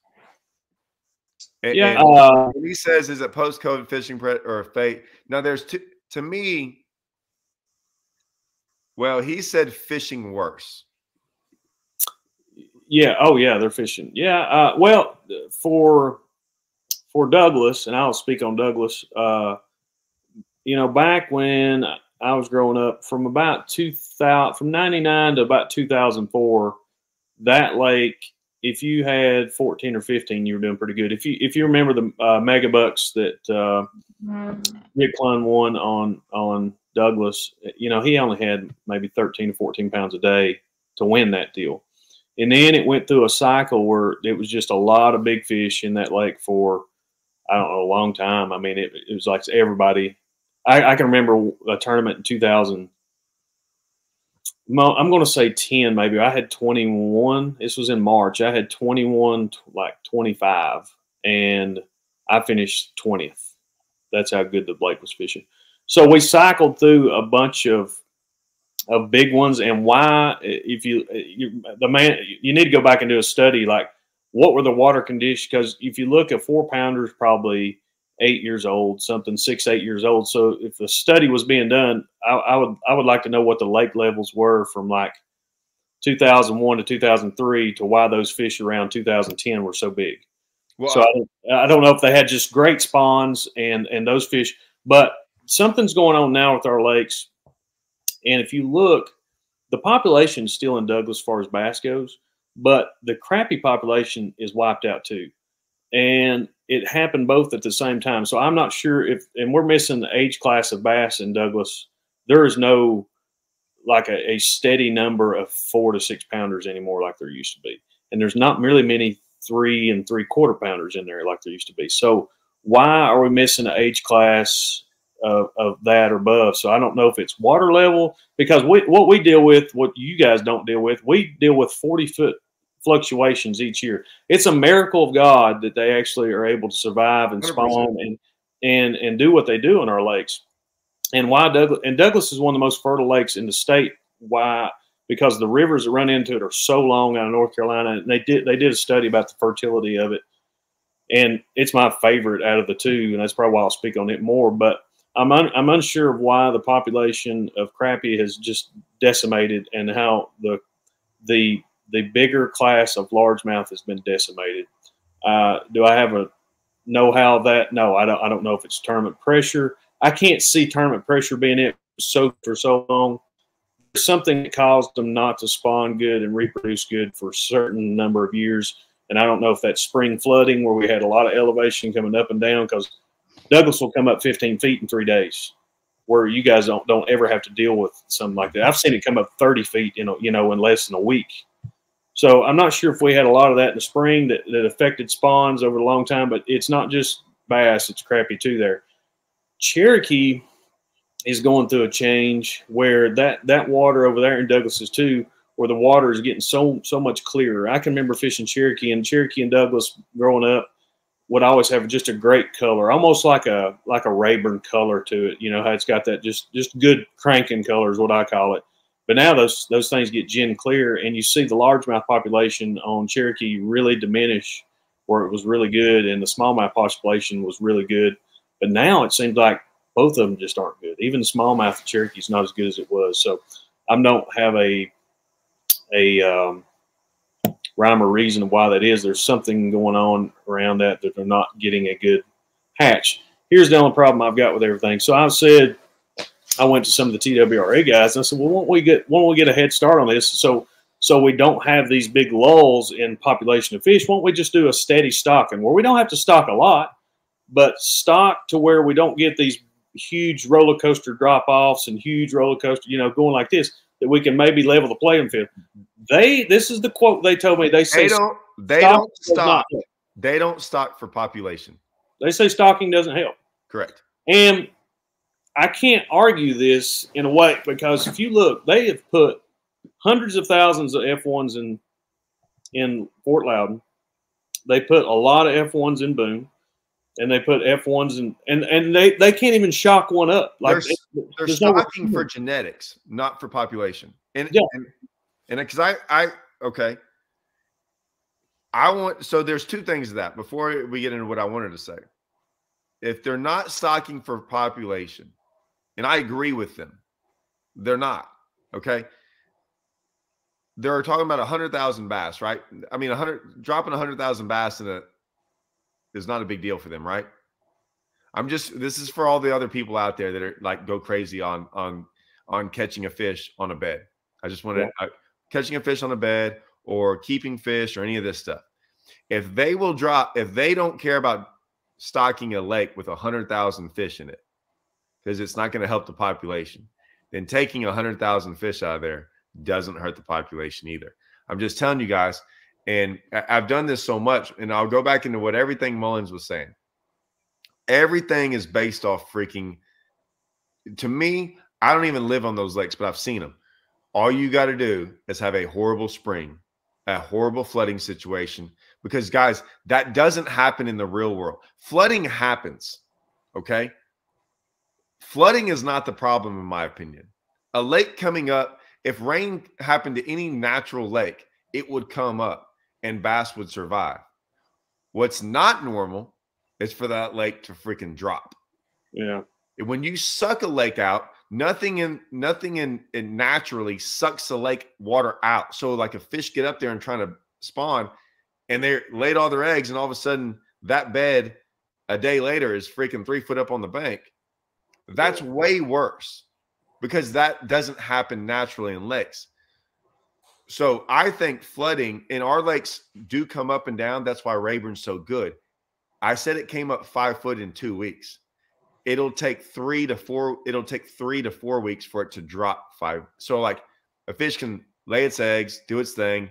You know, five days later, they've hatched their fry and they move up and down with the water. Like we don't. That's why Rayburn stays so good. Toledo can have a problem because they will kind of like they'll make it kind of go up a little bit faster and but it's still not as they don't suck Rayburn like they do Toledo. It's because it's we're because Toledo they have to for uh, they have to run water through Toledo.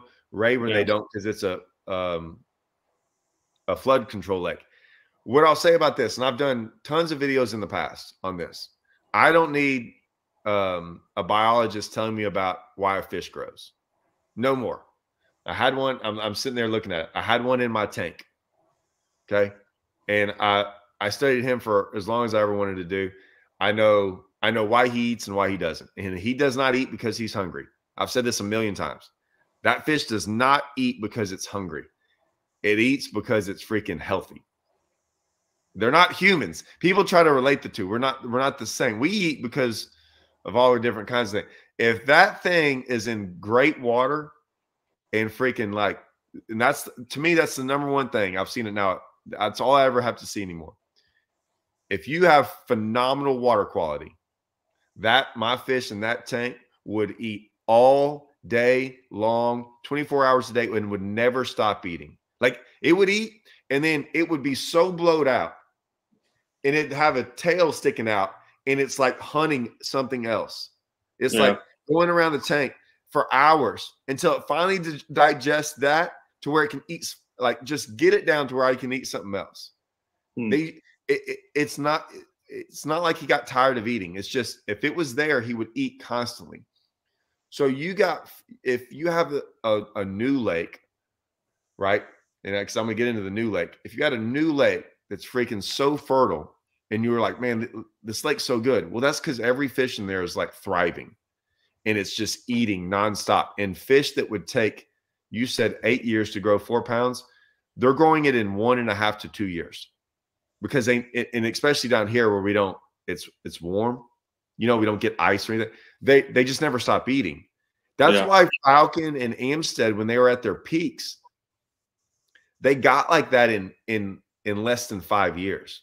Four years. They were like 10 pounders were probably four years old. Like they were they were growing. It was they they were so low for that long that when they filled up, it was a brand new lake.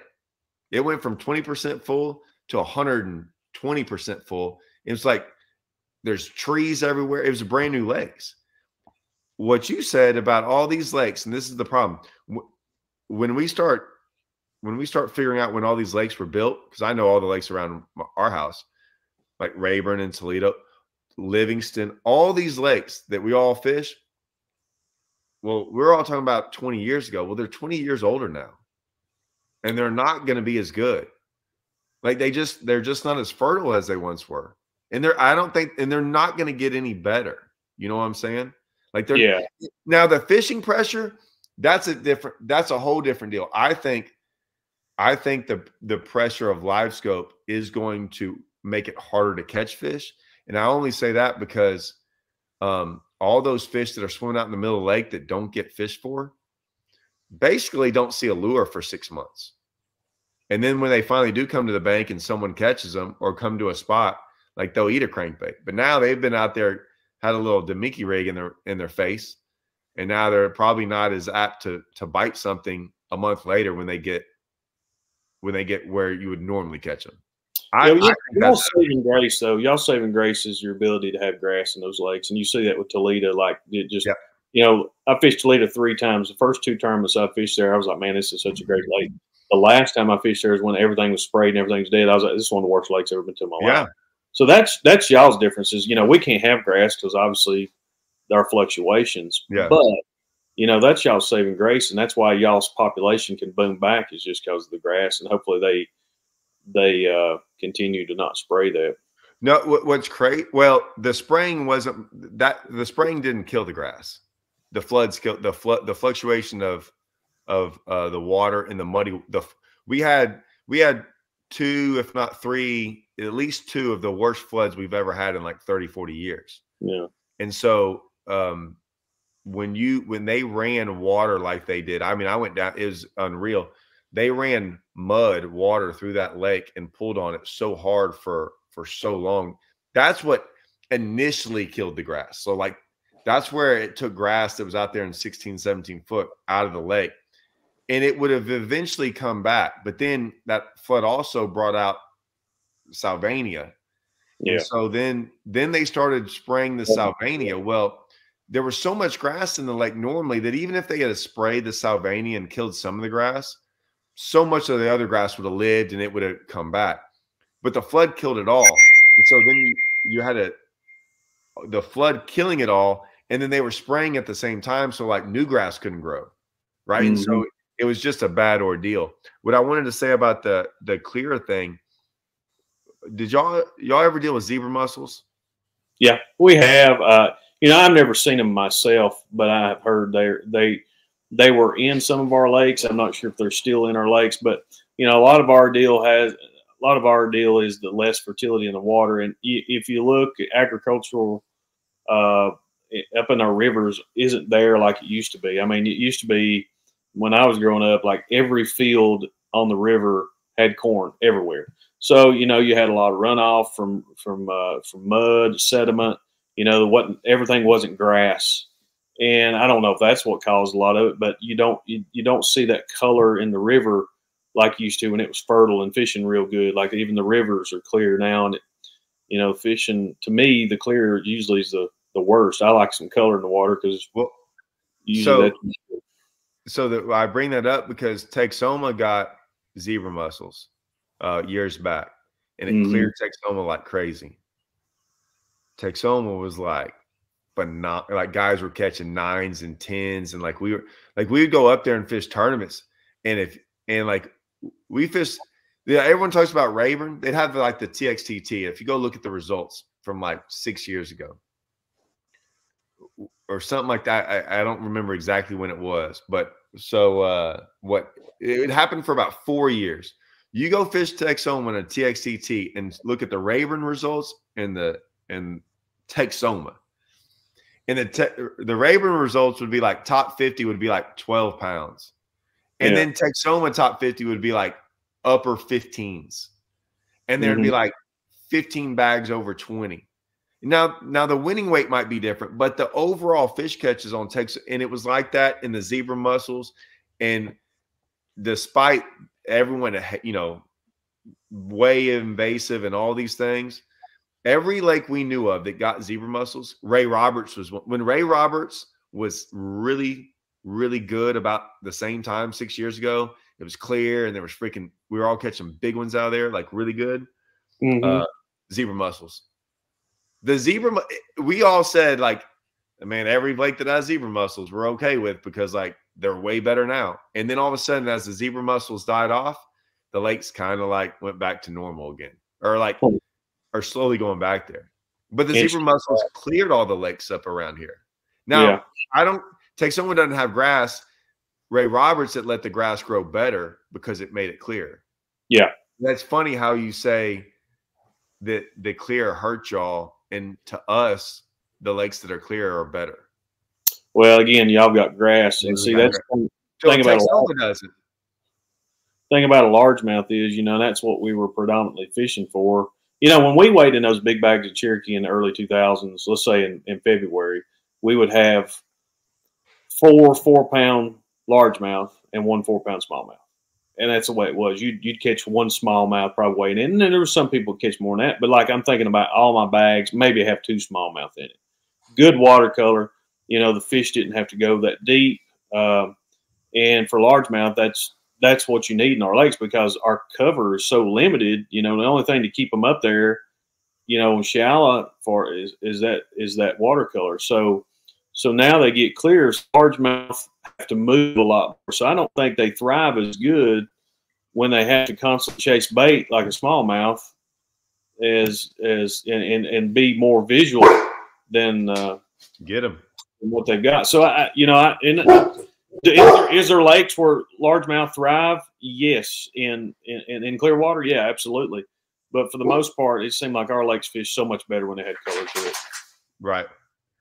They they yeah, I don't know. Texoma just seemed it takes uh, yeah, I'm just going off a couple of lakes that we kind of fish. I you know, um the one thing shell? that I don't huh? I was reading this. Does flooding current have an influence on the shell population? Is he talking about like like mussel shells? Yeah, so the one thing mussel shells are a giant, giant, giant deal. And it's probably the one thing of of I don't know much about. I, I know I'm, I know a little bit about, but I don't I don't know a lot of people that really know a lot of things about them that actually relate to fishing. The only We people all know it. We all I know know shells was like Kentucky Lake or Pickwick. That's it. I mean, they used to hunt them. You know, they used to to actually harvest shells there. You know, shells are constantly moving, but as far as yeah, I'm sure a flood's going to move them around just like it would a pebble or a rock or What- anything. what are- they're hunting those shells. What's that? They hunt those shells. Are they um Diving big are for those? Are they hunting them? not like that. So I we have them on Livingston. Um, I mean, I could go hunt thousands. Of, I mean, well, if the lake drops a, a in the summertime, like we were out there, my kids love finding them. I mean, but I mean, they can find hundreds a day, and they're big, giant, like they're big ones, Yeah, you know. And um, I don't know if that's the same shell that we find on Rayburn at times, because a oh. lot of those shell, the shells we see on Rayburn and Toledo when the water drops are like the little small ones, like like like those. yeah, and see, like a lot of guys that from the west part of the state would always come up to like Douglas and Cherokee, and you know they'd say, "Well, we cut them off a shell bed." We don't have shell beds on Cherokee and Douglas. There might be some shells around, but we don't have shell beds. We got. Well, I think people just like saying shell bed. I don't think I don't think a lot of people know. But like on Kentucky, 100% Pickwick, 100% like there's actual shell beds there that you catch fish off of. And again, those those things move not only with current, but they'll move just to move. You know, they can they can move around. So Well, uh, Timmy Horton was always uh, one that always talked about shell beds, and I've heard uh, uh, Chris Powell talk about shell beds on Kentucky Lake, and that's the only lake I can really think of off the top of my head where you know big shells. Where and you go down to Florida, you obviously you fish shell beds a lot down there, but I'm not sure the difference, what the type is. But yeah, they they move around. Well, the the what I'll say about that. So the one one thing I did, and this is just what I read about it because it made sense. So we had we had a we had a spot for a while. We won probably over a hundred thousand on it. And the first time I didn't know it at first. So I caught like a 10 pounder there. And then my second fish I ever caught there was another 10 pounder. It was on Rayburn. And then um it was one cast. It was literally one cast deal. And it- it was always in the like closer to the winter time, you know. And so, and then I, I finally I fished tournament. We won. I won it. I was in. It was a team event, but I fished by myself. I caught them all somewhere else, but I went. I went to it at the end of the day and catch like an eight pounder on the on the same cast. I had like twenty eight pounds or something, and then it. But it was only like that one like that one cast, and the next year it got a little bit better, and then me and Russell won a tournament off of it with like 35, and uh, but it got bigger, like the area got bigger, and I remember like going, "Hey man, there's like four or five casts now that you can get bit," and you could feel it down there, eh, little little spots of it and stuff, and it stayed like that for a while. Then the flood came, or we had some floods, whatever, and now that spot sucks. Never was the same again. Well, it, it, catches fish, but not like that. And it's very, very like before it was like automatic. Mm-hmm. And then I read somewhere because I was like, I guess they moved. And from what I heard, is most of those shell bed. Now I don't know if this to be true, but it makes a lot of it sort of makes a lot of sense. Is that like they they they like I can't remember if it's like eight to twelve or eight, six to eight, or eight to ten. They like a, a certain water level. Like that's mm. where they like thrive the best. And so I and it made a lot of sense because when the water came up for a long time, right? Got, yeah, yeah. And now now where we were catching them, um, and I'm not saying we could catch them in eight foot, but it seemed like it moved them. And then yeah. we found a spot one, we found a spot like a couple years ago, like three years ago. The water had been up high and it was like on top of this flat, and it was like five foot. Now we didn't really catch we caught some fish there, but it was like super hard, like super like like it was a shell bed. And I'm like, yeah, the water's been up. And now the water finally got back to normal and it was in like five foot. I'm like, I bet you if I went there now, I bet you they're not there. I bet you it's too shallow. Mm-hmm. But I remember the funniest shell bed story I've got is I was like that that top top ten I had at Harris Chain. Like I'm fishing through the grass and throwing your lure, and uh, I'm just firing around. I, I'm just not not even really looking where I'm throwing. I'm just throwing, you know. I throw over here and I catch me a three pounder. I take it off the hook. I throw it right back in the same spot. And this is like the last day of practice. I throw it through there and wind it through there, and I catch two three pounders. I got one on the front, one on the back. And I'm like, huh, what is that? So I, I, I shine my I shine my Panoptix over there because in shallow water, Panoptix is really good. Obviously, you've seen Scott Martin win the uh, Okeechobee deal. And I shine over there, and you know I'm on a grass flat, and it's there's a shell bed cut cut out in this grass flat. And it's perfectly circled, and you can see all the beds. You know, it looks like bluegill beds, but shell beds. And like I shine it through there, and I, I, I see all these little white dots swimming through it. They were all bass, and I'm like, starting right here. Little did I know there was like 150 people going to start in the same area, you know. But luckily, nobody had found that particular shell bed. Like people were just fishing the grass, didn't know exactly what was there. And I remember, dude, I pull up, I stopped short of it. There's people shutting down, you know, 100 yards there, 50 yards over there. Nobody's trying to get where I'm at. And I shut down, stopped short of it, and fished my way up to it. And like when I finally see it on Panoptix, I just power pull down. I, and I could see like 30 dots swimming through there. And dude, I start just railing them. I'm catching them every throw. And I remember Rick Clunn was like on the right side of me, and he's coming around and he's caught like one, and he's watched me catch 20, you know. And he fishes behind me and he's fishing around. He comes back around like 10 minutes later. I'm still catching them every throw. And because I mean, I'm like, I got to burn it. There's so many people in here. As soon as I leave, right. somebody's going to come over here, you know. And I'm like, you know, I'm going to do Rick a solid right here. Like, hey, Rick. He said, yeah. He said, you want you some of this? he's he looked, he's kind of smiled. He said, "Nah, you go ahead. You're doing good." I was like, I was like, really? He's like, yeah. He's like, you know, if I come over and start catching with you, he said everybody else is going to think it's cool to just come over there and catch them with you too. So he said, you go ahead. So I was like, man, that's awesome. I just offered Rick Rick a hole. We probably wouldn't have done that for anybody else, but since it was offered him a hole, he wouldn't even take it, and he still caught twenty pounds that day. But I remember after after he kind of scattered out there, I caught like two more, and it was my two biggest ones of the day. And uh, I ended up leaving there, but I started there every morning. And uh, but after after it's all said and done, like I could shine that Panoptix over there, and I could only see like one left, you know. But they reloaded for some reason. They reloaded on that on that one particular shell bed every morning. I could go over there and catch a limit real quick. And the second day, I popped over there and I caught like a two pounder. And the second throw, I caught a five. You know, so that's cool to have a uh, spot to start on like that. But that's that's my Rick Clunn story. Is he was he was gracious enough not even to come over there, and smart enough that he he went and caught twenty pounds somewhere else and still in the top ten. I I don't I this is a semi shell shell bed story. I think. Uh, so you be the judge. So me and Brent were fishing this tournament up up on Rayburn, and it was in like uh like mid June. It wasn't a big tournament, and we tra- we got to trailer.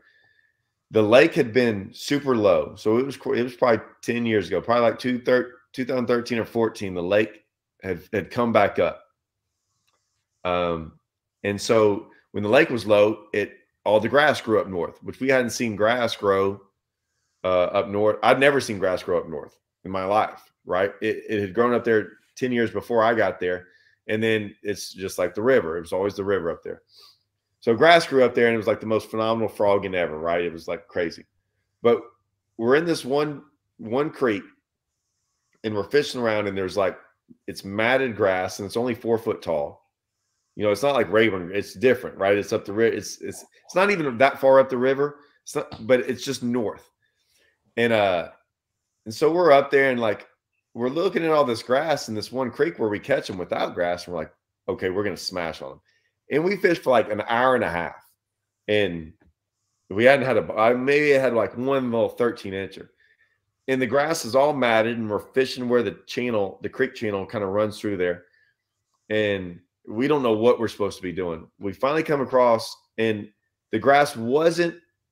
It was matted, and all of a sudden, like there was a little part that was like you wouldn't notice it until you got right on it.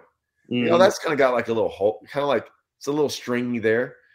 And I throw my frog, nothing. And he throws a swim jig over there and like four pounder, like gets it. He's like, Hey, I, I got one. I'm like, yeah, yeah, I saw it. I saw it. That's cool. I'm like, shake it off. So like, you know, we go through and um, we fit never get another bite for like another hour. So we kind of come back through and we're looking at that thing and I throw throw a swim jig over it, nothing. We throw a frog over nothing, nothing. And I'm like, huh. And, and like remember it's shallow, right? I mean, yeah. So he just picks up old, old big nasty, old big worm.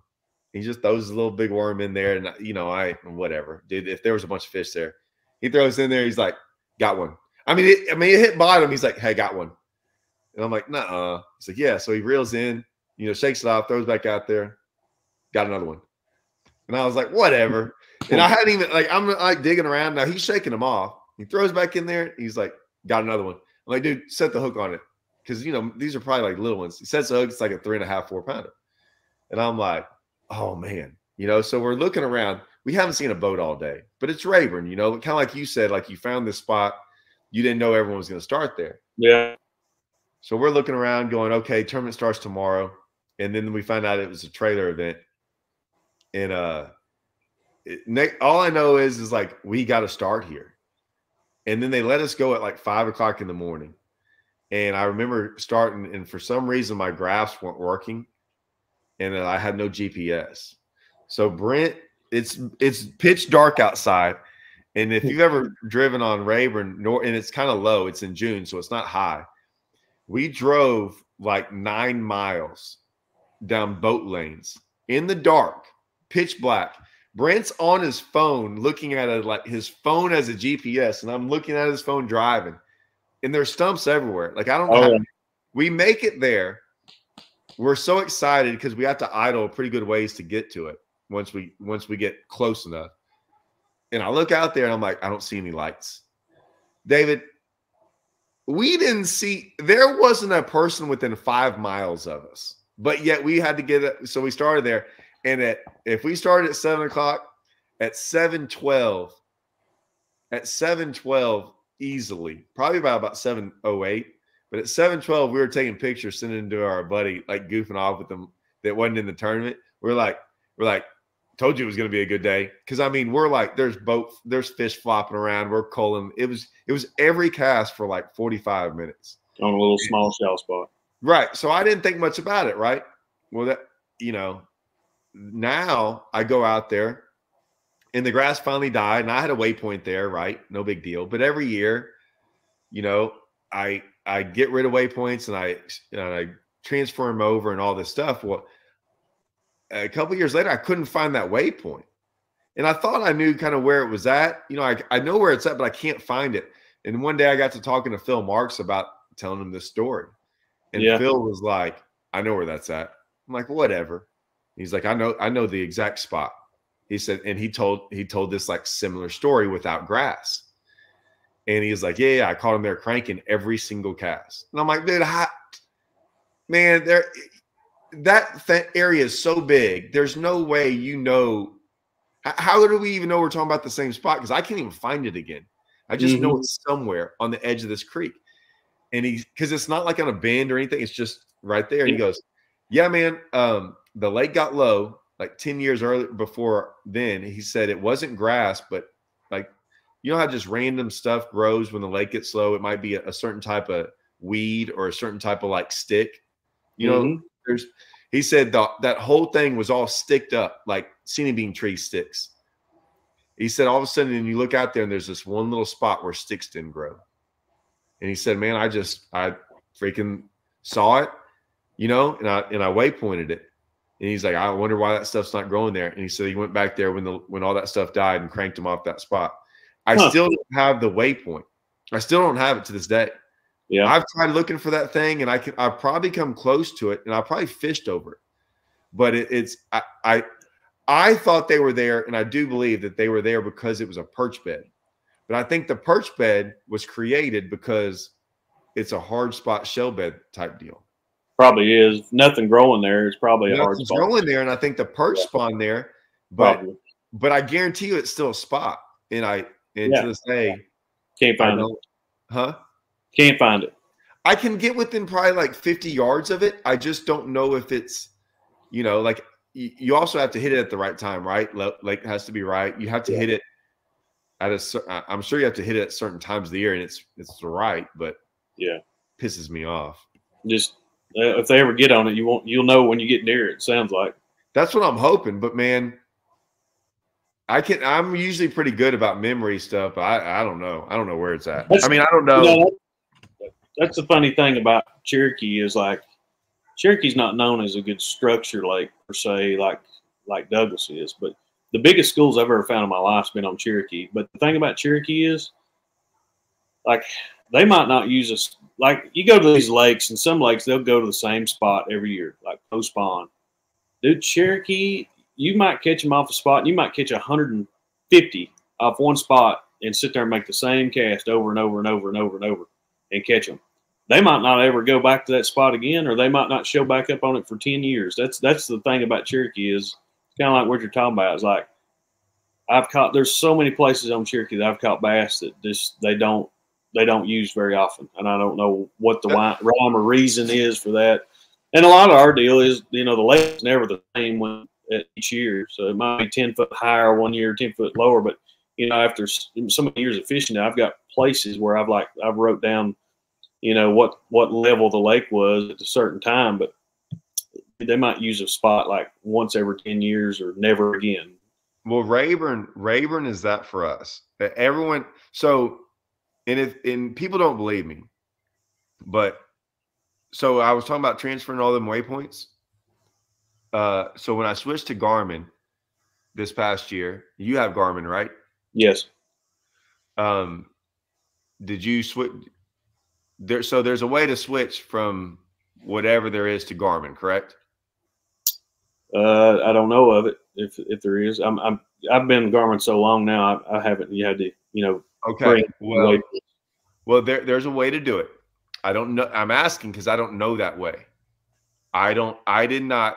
So for all the years I've been fishing, and I still have them all saved on chips. Mm-hmm. But so I've been with Garmin for, or I've had a Garmin units on there for a year not one waypoint has ever been transferred over.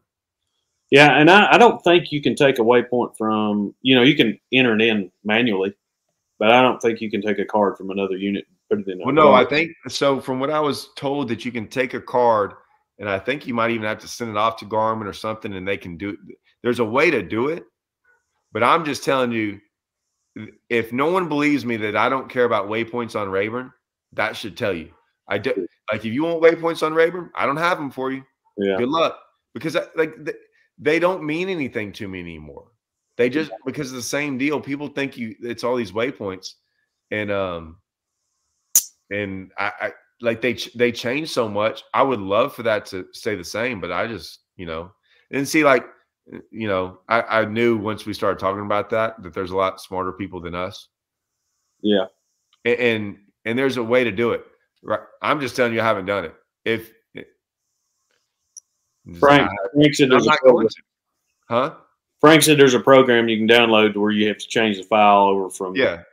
yeah Because I remember Zach Brown telling me from Garmin that he's like, you could send them in to me and I could do it for you. And I'm like, all right. And I just never did. yeah And then I get to going out there and you know, they're just they're just memories. Those waypoints are just memories for me on Rayburn because most of them like and they might be good for a couple more years. And then I just know they're not gonna be. Yeah. There's I have I, I would I'd have to think real hard, man. I just don't think I have hardly any that are going to be other than like a community hole, like that's a, like a road or a brick. I mean, that's I'm talking about like a spot that like you throw on and catch fish, like that no Mhm. one knows about. Those type deals. I don't have any of those. I have some from this year that I found, hmm but I, you know, I know what's going to happen in three years or a year, or six months from now. They're going to be worthless. right yeah it seems like waypoints is definitely uh way it, it's going away with well like you know with live scope and everything else you see kids that Yeah. don't have any fishing experience at all that have no you know instinct about it that all they do is live scope now and catch them and it's just like don't even need waypoints you just put the troll motor down and you find one Well, Rob Rob Newell. So I was I listened to a little bit today, and Rob Rob Newell made the comment. Rob's, you know, who used to commentate for BPT, which I find it odd that I was like, so you're still you're still doing invitationals.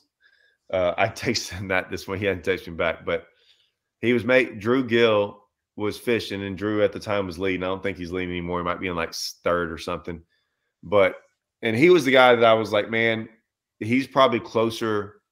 He was doing some stuff that I, not everything, but I saw. I kind of saw what he was doing, but he was talking about the fact of like how he can gain knowledge now with live scope, where it took us 20 years to kind of do that mm-hmm. it's probably true and and it's he because he's he you're studying the fish to a degree now what i would say is is i get a lot of questions about live scope and stuff and i'm like hey look man live scope fish and regular fish in my opinion are kind of two different things or can be two different things and so he's learned a lot about live scope fish but i don't think there's no way he understands and a lot of these guys you you have to know the other part like there's things that the other fish do that you really can't study on live scope. It's hard to hmm. explain, but you know, it's just a different type of deal. Like it's hard to like Nick LeBrun's in second, I think. Eh, Good luck trying to live scope throwing a trap in the grass. right You, I mean, I'm not saying you can't catch one, but I promise you that's not what he's doing to catch fish in the grass like that. right It's just it's just a and and I'm sure Drew Gill will be the first one to tell you because I've talked to him. I mean, he's like, man, I don't I don't think I think what he told me, I saw him at the at Lake of the Ozarks. I think he's like, man, I haven't caught a fish off that wasn't I wasn't looking at in like two years. Yeah. And I can see that. I mean, like, it's just mind boggling that the shallow tournaments now that are one on, especially bed fishing tournaments are one on live scope. But Well, I think that's gonna be rare. I don't know. I think it's going to be. I think when I say it's going to be rare, I. don't- So eh, here's what I mean by rare. And when you look at if you did you watch any of the BPT on Toledo? Very little. Okay, but you if did you watch five minutes of it? Yeah, I probably watched five minutes of it. Was everyone doing the same thing? Yeah. That's what I mean by rare. So Scott might win the event doing it. Scott might have been one of three people doing it. And that's probably why I didn't watch much of it. Because, you know, they show five people, five people live scope in open water.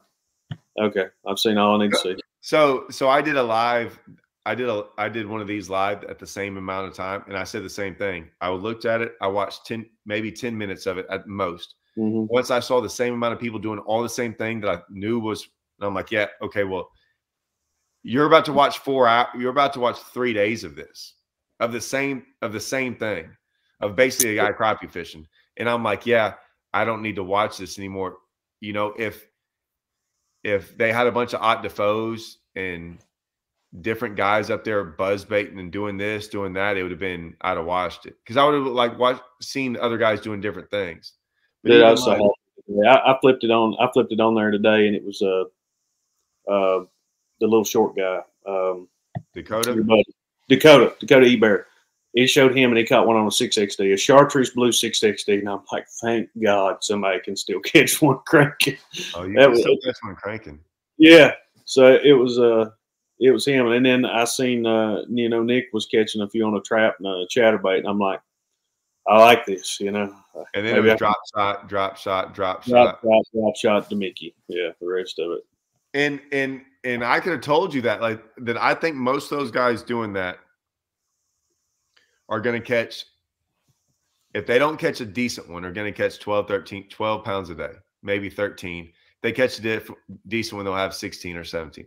Now, I'm not Mm. saying the guy won't catch 23, but it's it's one of those deals where I always so I always used to get an argument with Hallman. It's kind of like my comment to you about it's still going to be rare that someone might win a tournament doing it, but it's going to be rare that that's the pattern.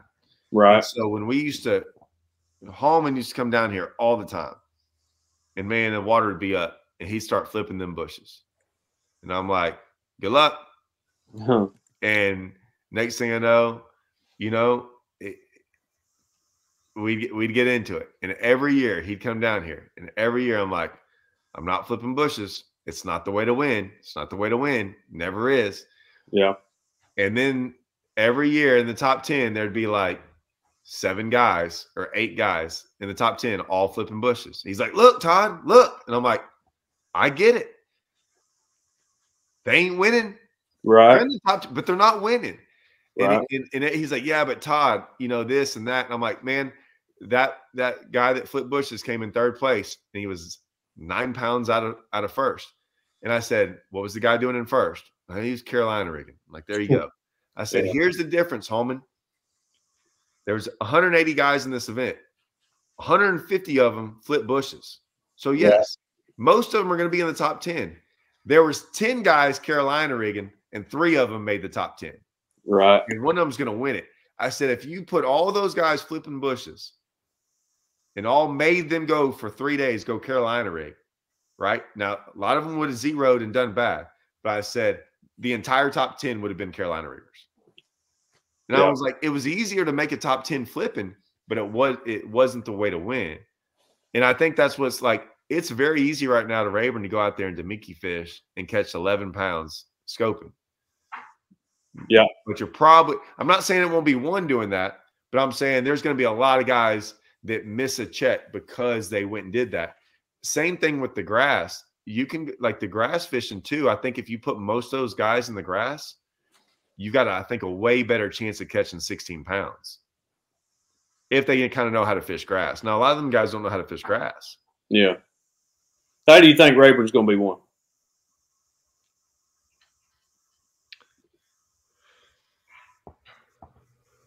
Uh, offshore. Do you think it's going to be a Carolina rig drop shot, or you think it's going to be scoping? No, I don't think um, semi scoping, Semi scoping. semi scoping. Yeah. Like, I mean, so I've caught a couple big ones out there, and a lot of them weren't scoping. But uh, uh, the problem is, is like there's a couple guys in there that are like locals. Listen, you have a big tournament with with 200 of us locals.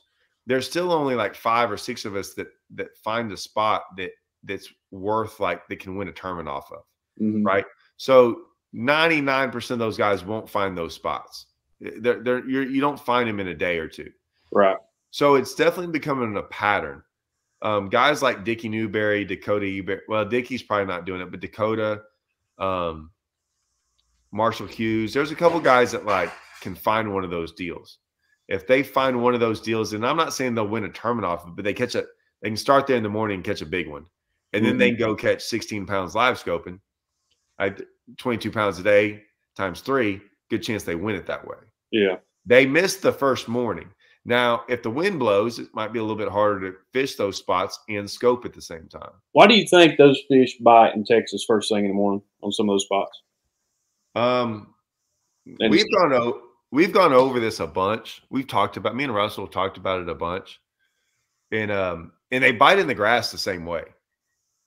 But yeah, why why is it the first thing in the morning there? Like, there's not like other places in the country, like maybe when the sun gets out or maybe Yeah. midday. But like it I've- seems to be like if you go to Rayburn, you better be on your best stuff when the sunlight is cresting. You know, when you can barely see, and like And- they're they're biting. And what's crazy is the top water bite is not good.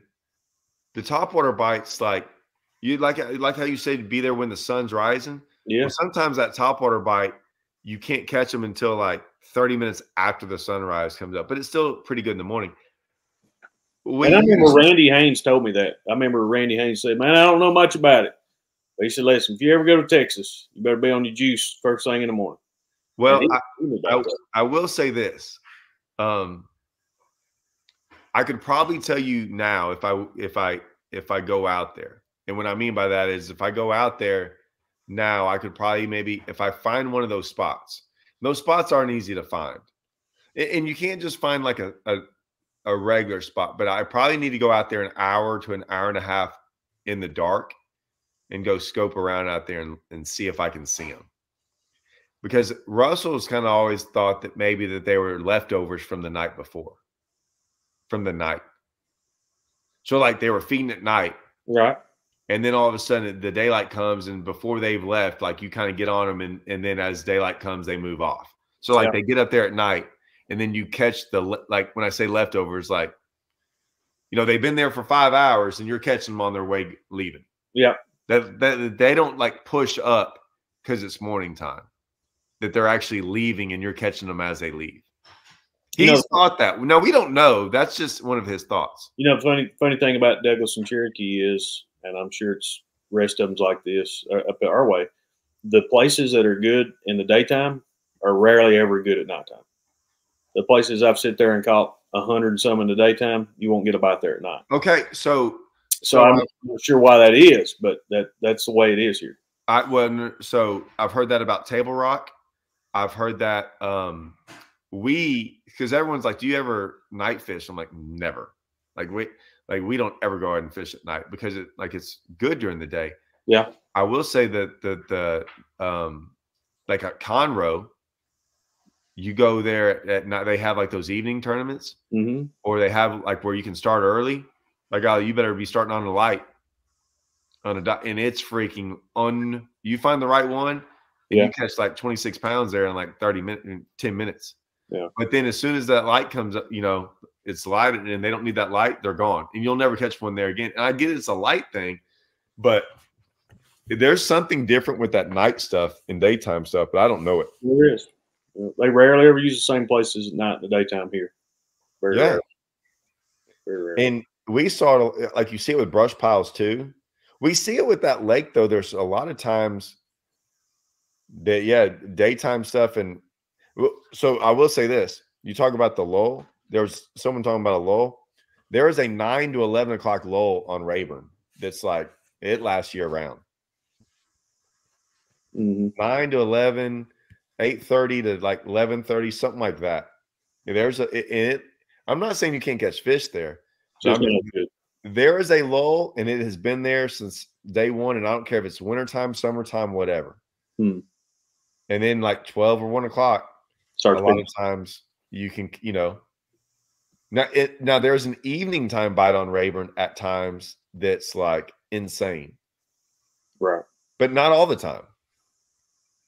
Like you can go out there some evening and it just keeps getting worse and worse and worse. And then other times it's like when then like the whole place lights up for the like the last two hours of the day. Mhm. you'll hear about guys catching them at the end of the day and they'll and they'll even be like man it got so good i think it's an evening bite and i'm just sitting there going you know because they're not from here and they're like god it got really good and i'm like they're like but it got so good it was so overwhelming to them they're like i think it has to be an evening deal i'm like yeah it was don't count on that to happen during the event Yeah. and sure enough they're like didn't happen i'm like yeah no Yeah, and you know that's man, and Ott's talked about. You know, Ott don't practice. He don't really practice past five o'clock in any of those tournaments. Four or five o'clock is when he gets off the water, and he always thought, you know, his I've, I've talked to him about this. It's been a while. His thinking process was a lot. A lot of times he find them in the evening, they're not going to be there. There's been a many a school I've found, you know, you know, our lakes. You know, you'd be idling around. I find them, you know, an hour before dark or something, and you know, end up going back and catching them the next day or during the tournament. So there's definitely there's definitely fish that that they're not just evening times. I think that, in my opinion on it, and it's he's a lot better fisherman than I am, but my opinion on it is the more time you can put on the water, the better. But well, I, am with you on that. that he, he, gets off the water at four or five o'clock and it works for him. So it's whatever works for you. Well, I, I'm with you on the fact that that if you're I totally agree with them, and I do think like finding them finding in them bet- during your tournament hours is great, right? Mm-hmm. But man, yeah, we found some. Fi- I, so I'll tell you one. Uh, Ray Roberts last year. I'm not saying we found the fish, but I found the. See, it might have been a pattern deal that we fished all day long, and like Russell was getting off the water because we had we had not we hadn't had a bite in like 11 hours, either one of us. we had caught like a couple in the morning and then nothing. We had found some sight fish. And then I was going, dude, yeah, that's all we have are those fish. We have nothing else. Like, I don't even know what we're supposed to go do the rest of the day. And at the very end of the day, I ran somewhere and I'm like, I'm sitting in the boat, you know, like not even fishing. And I'm like, gosh, should I just do this? Should I just, should I be really this guy? Like, you know, I'm not saying I had to throw a, uh, my little spinning pole out there, but I basically did something that is, I really slowed down, slowed yeah. down for me and it was so bad and i'm so i'm not horrible at it it's just i was not set up for it then my first cast i backlash because i don't throw things this light. Right. I'm a, i'm done doing the backlash you know in freaking five to ten minutes and i finally get it done i'm like oh i got one like a three and a half pounder and then like three casts later i catch a four pounder. I call up russell i'm like russell he's already loaded his boat like he's done i said hey man i think i figured something out and he's like well i'm gonna go get us signed in and everything just keep going. Right. And I call an hour later, it's on, you know, it's by I have to get out the water. I'm like, I've had four more bites, dude. We, we got it. And sure enough, we went and caught our sight fish and did that the rest of the day and caught like 20 doing it. Yeah, them. Yeah. yeah. we came in second. We almost won the the a boat.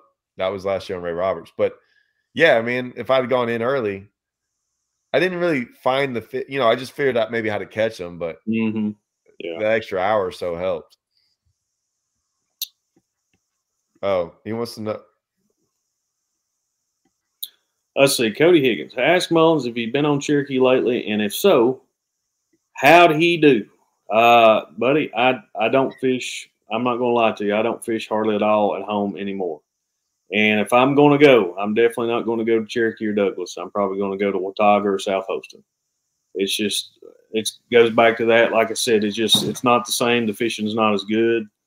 Um, you know, so, it's just not as fun to me to, to go to these lakes anymore, like Cherokee and Douglas. I love them, but I, I just don't. I don't go just because it's you got to go work, you know. And there'll so, be there'll be a time here next couple weeks, especially if it stays warm, that it's going to be, you know, it'll get good like places do in the springtime, but consistently it's not. So I know I haven't been Cherokee, and from my knowledge, it's not not fishing the best. So when we went there for the tour, remember when we went there? Yeah. And um, practice was like practice was you know 30, 30 40 a day. Yeah. It and that's like le- laying off of them yeah. And then and then it the, the bite changed and they all went to the bank. And then it was still 30 40 a day like it was just stupid on the bank like mm-hmm. even crazier. And then the only other time i went was for a open. In the fall. Okay and and for fall you know like whatever. But there were some days out there I'd catch.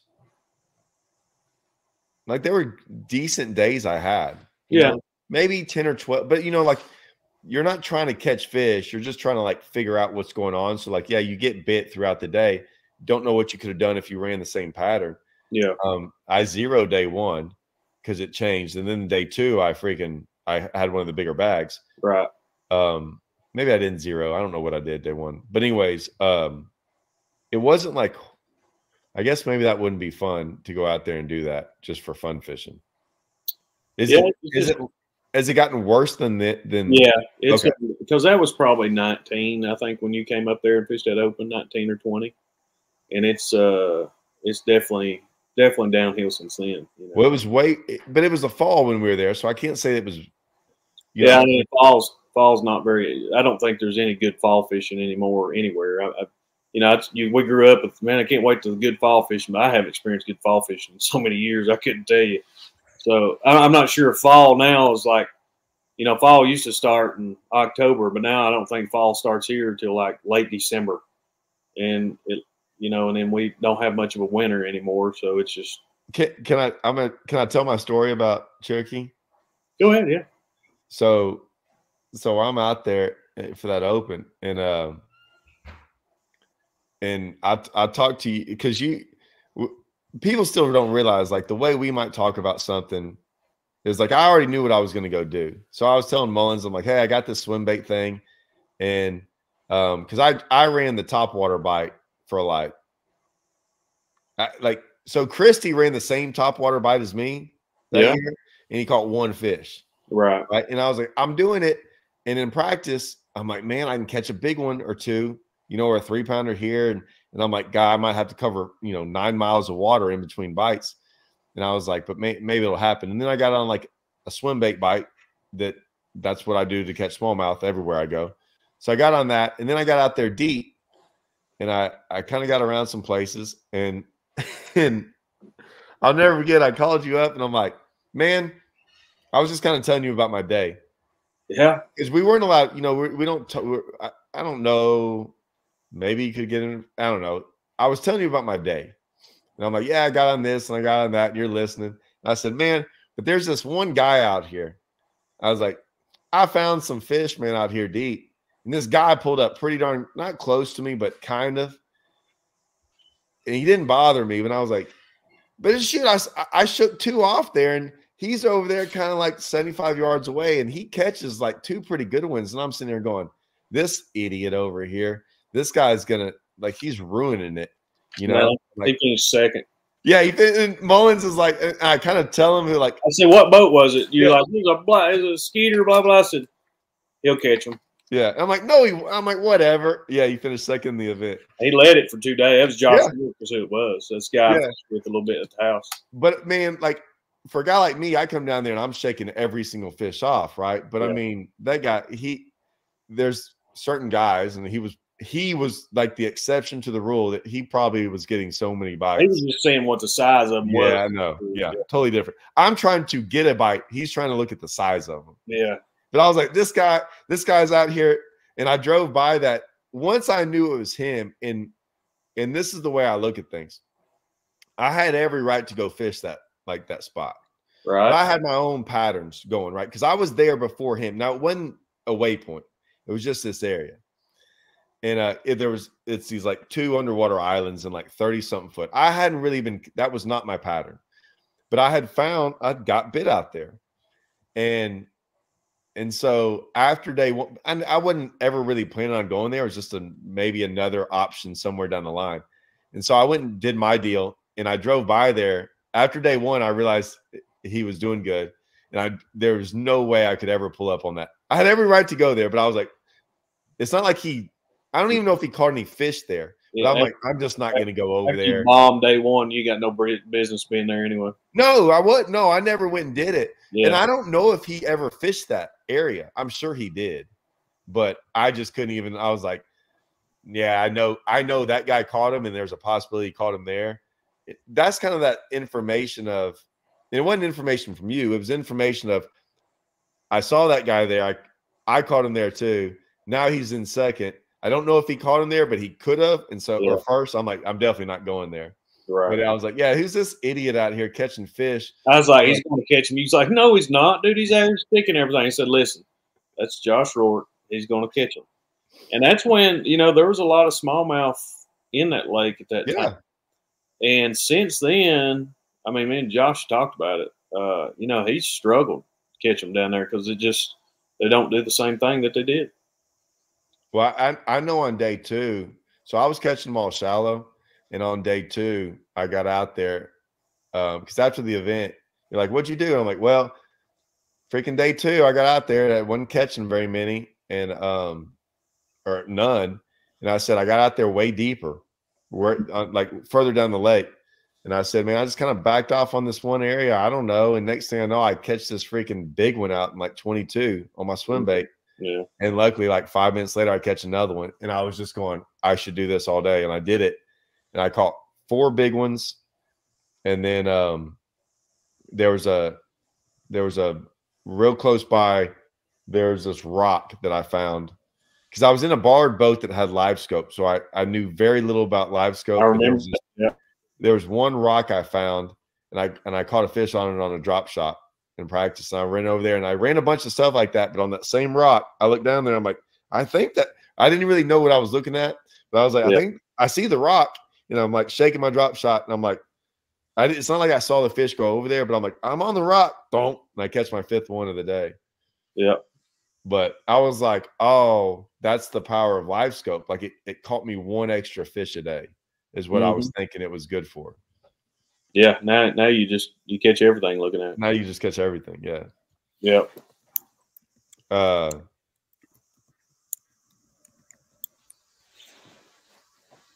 I well, I mean, we talked about this earlier. The pressure is what's going to make it harder to catch, but I don't think it's like I think there's two things going on. I think lakes aren't as good anymore. There's not the fish population as there once was, but I definitely think that they're um they're just harder to catch. Yeah, let's see. Does he think increased pressure was contributing to the problem downfall of these local lakes to Knoxville? And I'm not sure as far as Knoxville goes. I remember, you know, Loudoun used to be a really good fishery, and it always took mid 20s to win there back when I was growing up. And now it's just terrible, man. I hate fishing there. And the classic, I bombed. You know, I spent every piece of my being trying to be over away from everybody, trying to catch them deep in Tellico, and I didn't. I didn't fish the area where Gussie was fishing, but just because you know, he won it the year before, you know, similar area. So I was like, I'm going to go way up Tellico. And I spent, I was either going to zero that tournament or catch him really good. And I didn't catch him at all. But, uh, you know, I'm not sure why Loudoun and Watts Bar and those lakes are just, and same way Cherokee and Douglas. I don't know if it's pressure. And I don't think it's pressure on Loudoun because Loudoun hadn't been good in so long. But I, I can't really tell you why. I don't know if it's a fertility thing. Loudoun's a lot more stable. I I can't. I don't know the rhyme or reason. I wish I had the answer because I would fix it for everybody, and we'd all catch a lot more bass. but it just uh, it's they're definitely not as good as they used to be. See, something's going. I looked at Rayburn, and see, I don't know if if Rayburn is is um. So I'm not watching this, so I can't see what's really going down. So I mean, at a at 107th place to a, however many people there are, there's zeros, and I doubt there's zeroing. So so I don't know if you're uh, you're everyone has to turn in their weights, but some guys are uh What are you talking about on on Rayburn? yeah, but some guys are starting to like pop up. Like now there's Yeah, they'll probably just.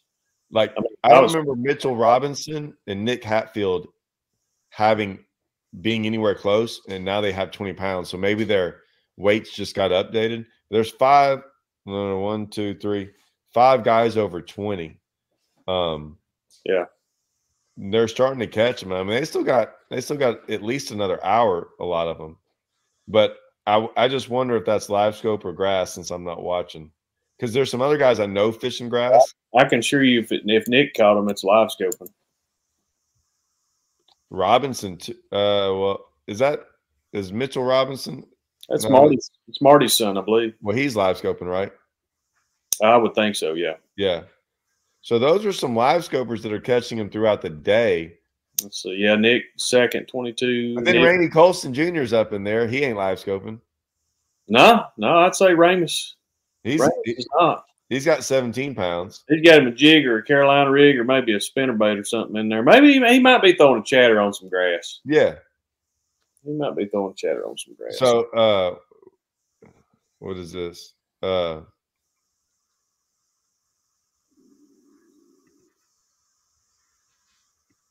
oh, Hatfield's on the tear, so he's been fishing well last year and this year. What do you two think about Trey McKinney? His stats are insane. What do you think he does differently than any other? I'm not going to lie to you, Nathan. I don't know who Trey McKinney is. You'll you'll know next year. This year, What's he do? he's going to fish the elites. Okay. Yeah, I don't. I don't know who that is.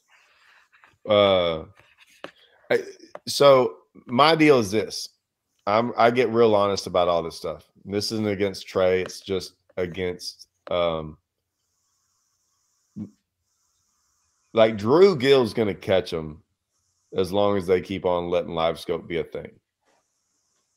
Yeah. And that's not a knock on Drew Gill. Like, man, there's like, I'm a I'm a great sight fisherman. As long as I'm allowed to sight fish, I'm gonna do really good in the springtime.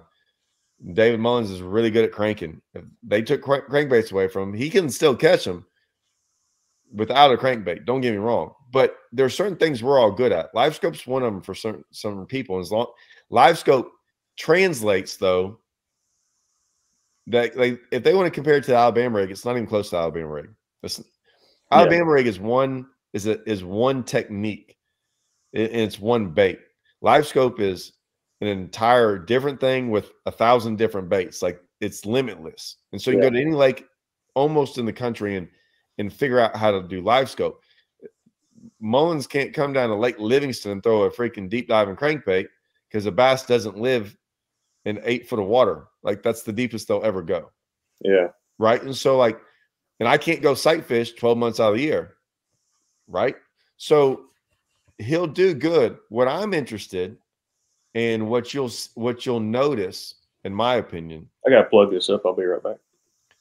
what what I'll notice, in my opinion, and you can take it, it's this is not an exact science. So don't think I'm talking about anyone in particular, but I do believe when you when you watch guys move from the opens to the elites, the guys that make it a and it's not even the opens to the elites, it, it was from it could be from the tour to the elites when they did that or whatever.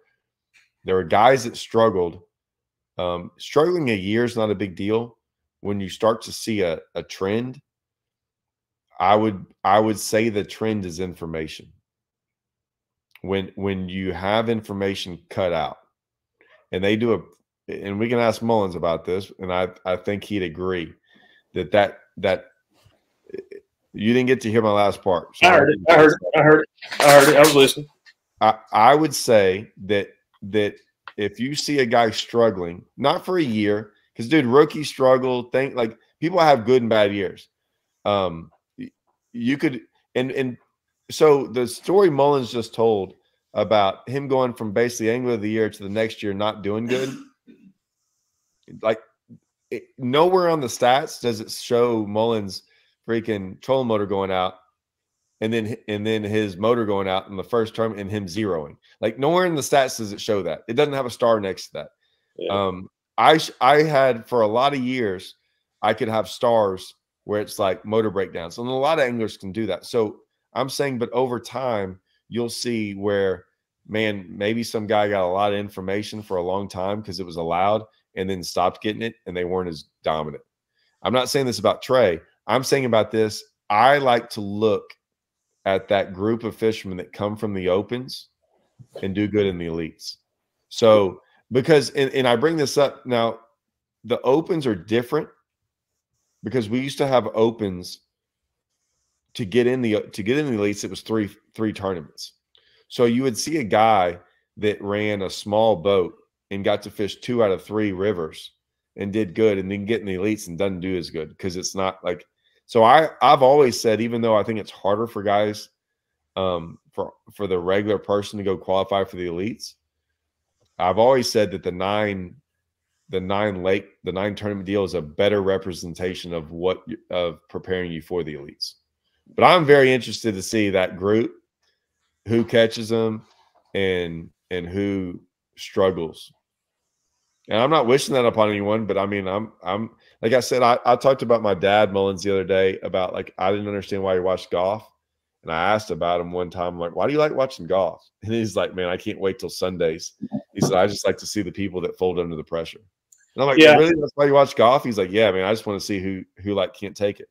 I, I, I'll throw I'll throw my opinion on this, and I don't like giving it out a whole lot, but I will on this deal. And This is only this is only live to a bunch of people, so it's okay. So, and I'm- I'm looking at this as David Mullins. Okay, if they would have had this nine, and I'm a, I, and guys, if you know me, I'm an exception to the fishing rule in a lot of ways because I, you're you're talking about somebody that grew up. I'm I'm I'm, I'm blue collar as can be, but we didn't have an over excess amount of money to do anything. So when I was, I just got a school teaching job. Okay. And Aaron Martens, this is, and it, it, some people's already heard this story. Well, well, I'll try to go through it quickly. But like Aaron Martens encouraged me to fish the opens with him after he come up here and fish with me a couple times before in the Elite Series. So the, the the the back in them days, like Todd was saying, you know, you had you had three divisions, and if you finished in the top five in those divisions, you got to qualify for the elites. So I took time out of my teaching deal, and I worked it out with the principal. And I told him before he hired me, I was like, "Listen, I've already got these opens. I've got to fish next spring, scheduled, and and can I can can you let me off of those?" And he said, "Yeah, we'll work it out." So I got to fish those opens and qualified to those opens the first year I tried doing it through the Southerns, and I finished in the top five, and I and and still fishing the elites 11 years later. But what I'm getting at is I don't think David Mullins could could do it fishing nine tournaments, and I know he couldn't do it. So I, I I don't like the fact that they're going to nine tournaments and that's how you qualify. I don't like that because I couldn't have done that. Is it going to make a better fisherman uh, out of the box coming in? Yes. I agree with you 100%. It's going to make a better fisherman coming in. Yes. Was I uh, as good a fisherman when I first started as I am now? No. But I mean, rookie year, I think I got five checks my rookie year, which is pretty stout.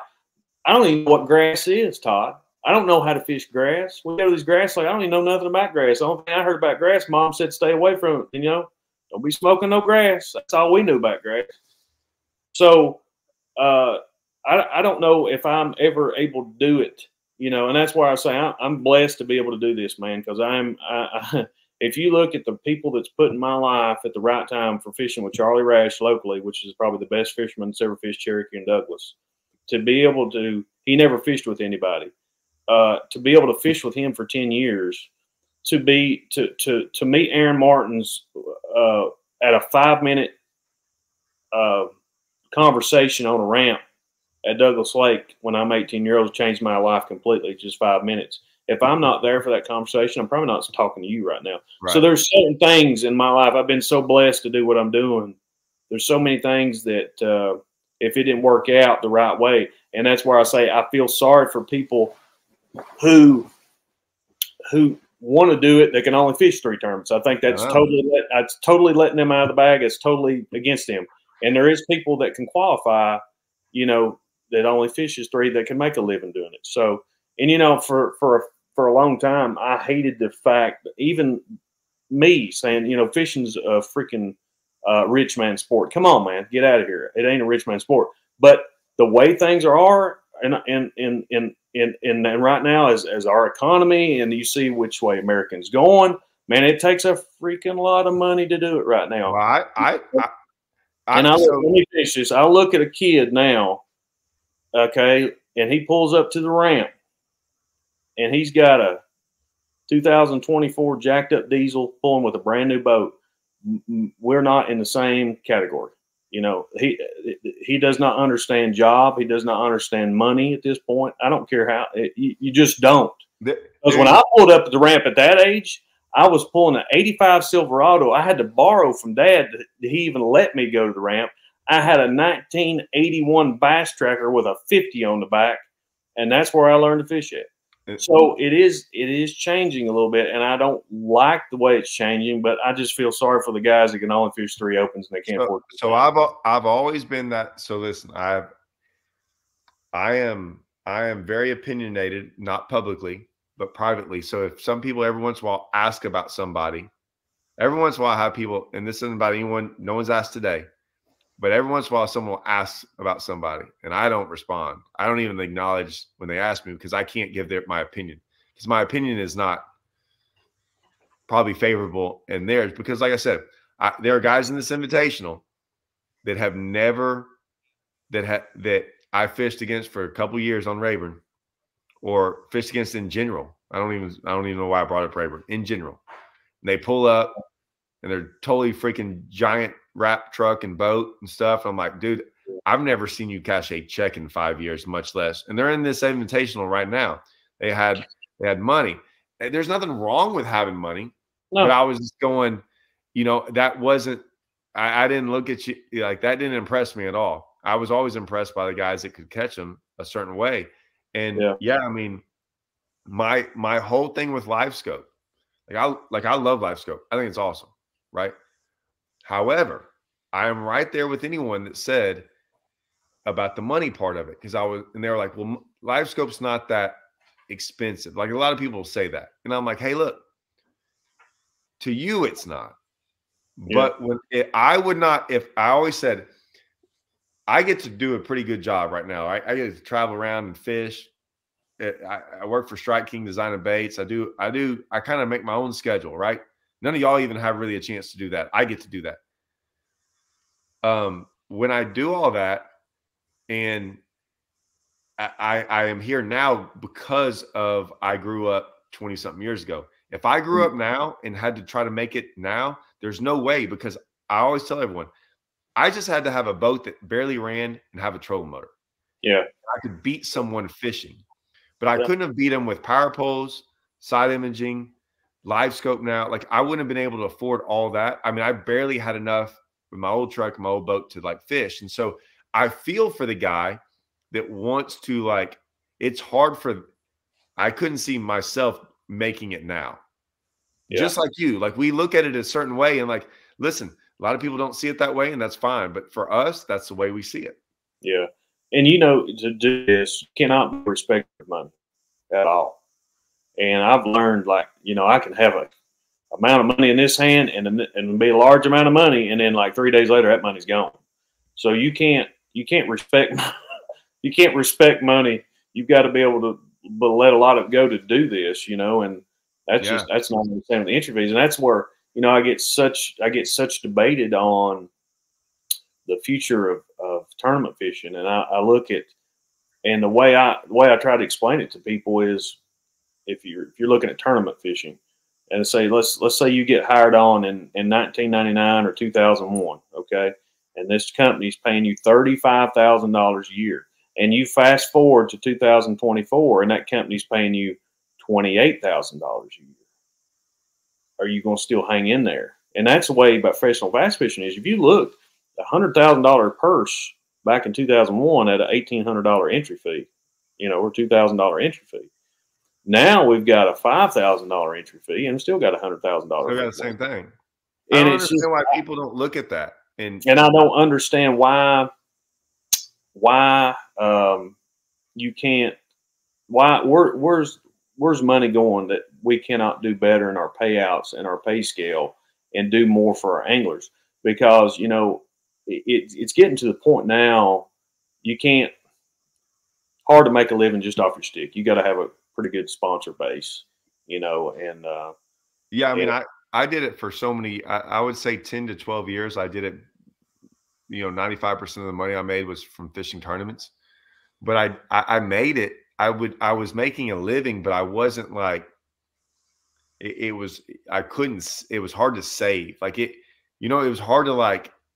It was hard to grow with the success I was getting. It was like I was get enough just to not just to fish the next year, but I mean it was it wasn't like it, it was a very very very slow climb yeah, doing it that way and now it's gotten worse because like everything's gotten more expensive but i'm still fishing kind of for the same amount of money yeah. Actually, you're probably you're probably fishing for less if you consider um the cost of living and everything else. And that's what I, you know, they, you yes they talked about.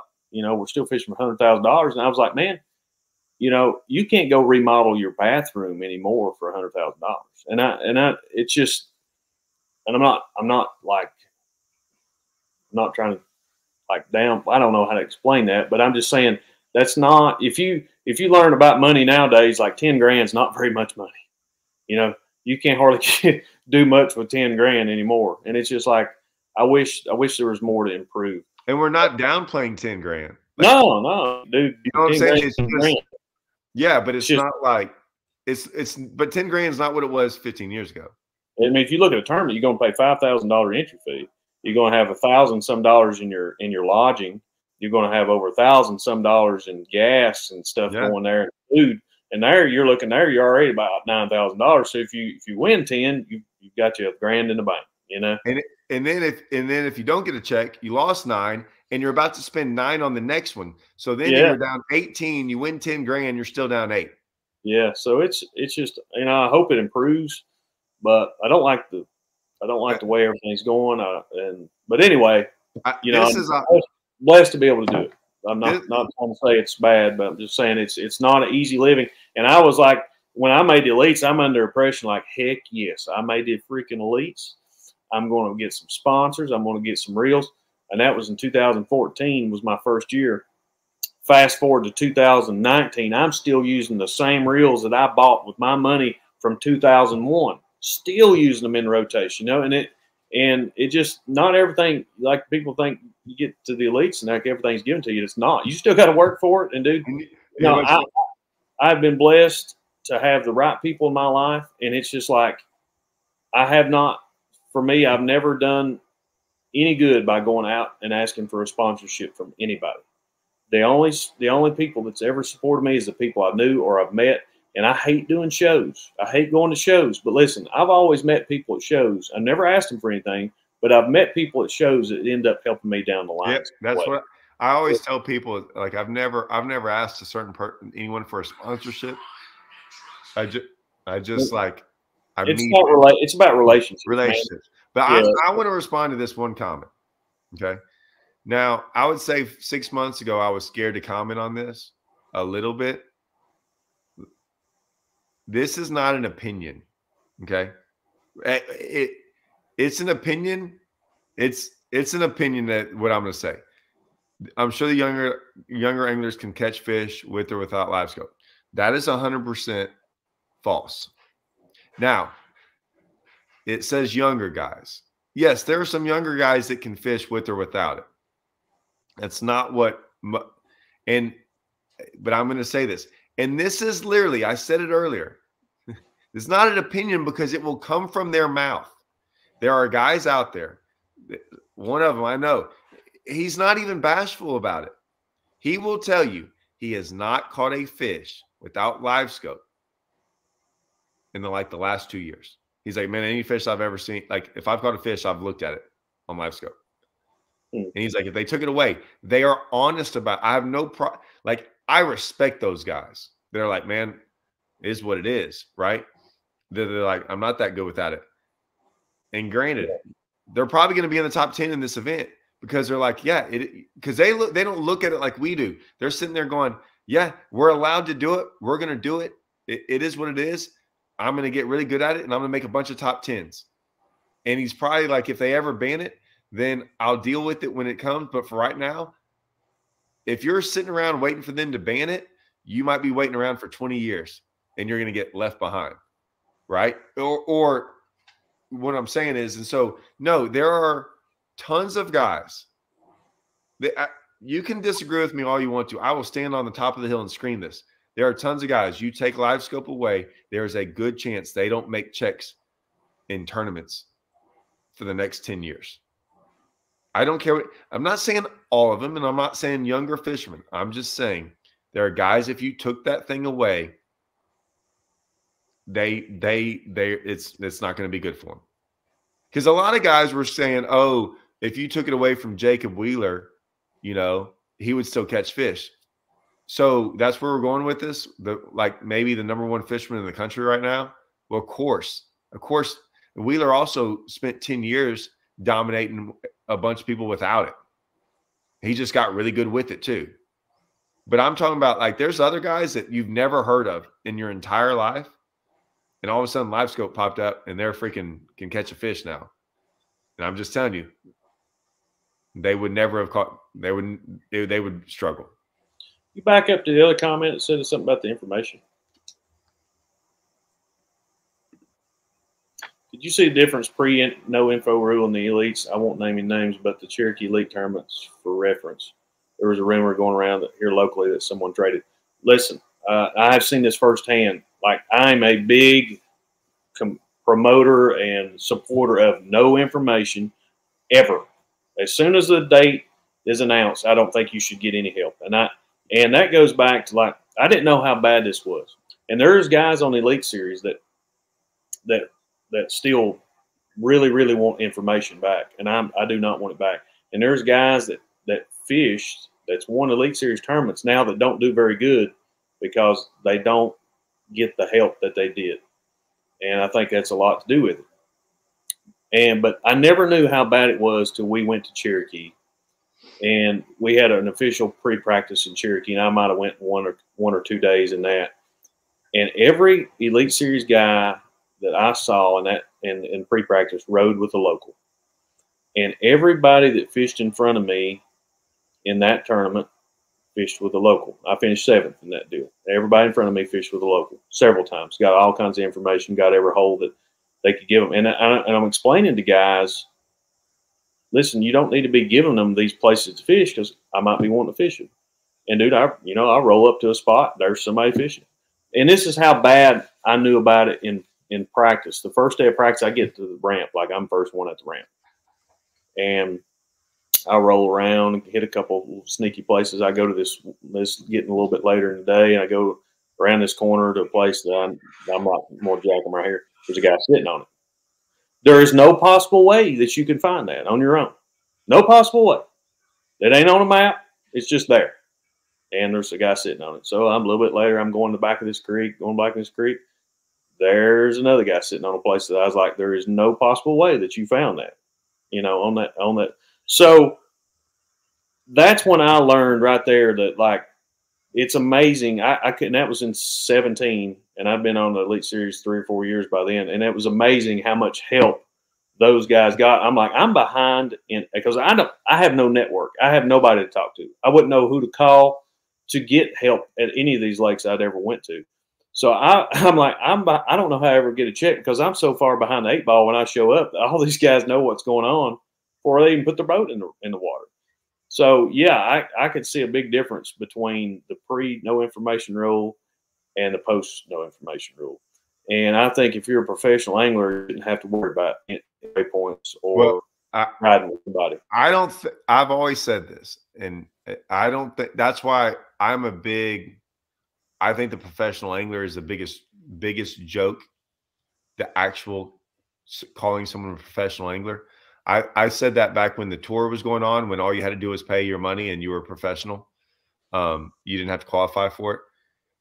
I still think to this day, it, it, it cracks me up that you're that professional anglers, they can't wait to say, like, look at all my sponsors and look at my my name and my I drive a big truck and big boat and all this stuff, and I'm wrapped everywhere, and I'm and I can't wait to tell everyone I'm a professional and tell everyone how to fish. But tell everyone what to do. Yeah. And as soon as that, and as soon as that's over, I'm going to make 30 phone calls and ask all these non-professionals, all these locals around the lake to help me figure out how to catch a fish. You're a prof- and please, Mullins, tell these people.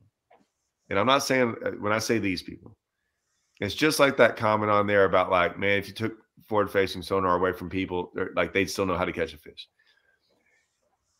Whatever people think they know about professionals and or tournament fishermen and information and the information they got. Whatever they think they know they're way off. Like if they think it's going on if they thought there was if they think it's whatever they think it is it's it's times 10 what it's really is. Because we we in the industry and we that see it all the time on both sides it's happened against me and then i've been sitting in a room when people get phone calls and I'm listening to the conversations. I've been I've been in the truck with someone and when the elites got canceled and they moved it to whatever lake it was when it flooded in Oklahoma. Yeah. And he, and he gets three phone calls within a matter of 10 minutes from elite guys. Yeah. No off there the tournament starts in two days and they've moved it and he's getting phone calls left and right. And I'm like, they, they ain't asking to stay at your house. And that was that was in the opens. Huh? That was an opens or the if it was an elite event. Elite event. Yeah. Well, here, you know, I'm going to comment on it, and I, I've Dude, never, people I- have no clue. People have no clue. and I'm not going to lie, I probably don't either because I've never been around it and I've never seen it firsthand. So I'm not going to comment on somebody if I'm speculating somebody else is cheating because I, the only time that I've ever experienced that, somebody called me from an FLW tournament that was fishing the lake locally here and asked me for asked me for information. And I asked the guy, I said, "Isn't this in your off limits?" And he said, "No." So I told him some stuff. Then I get a call from another guy that wasn't calling me for information. He was calling me about a place to stay.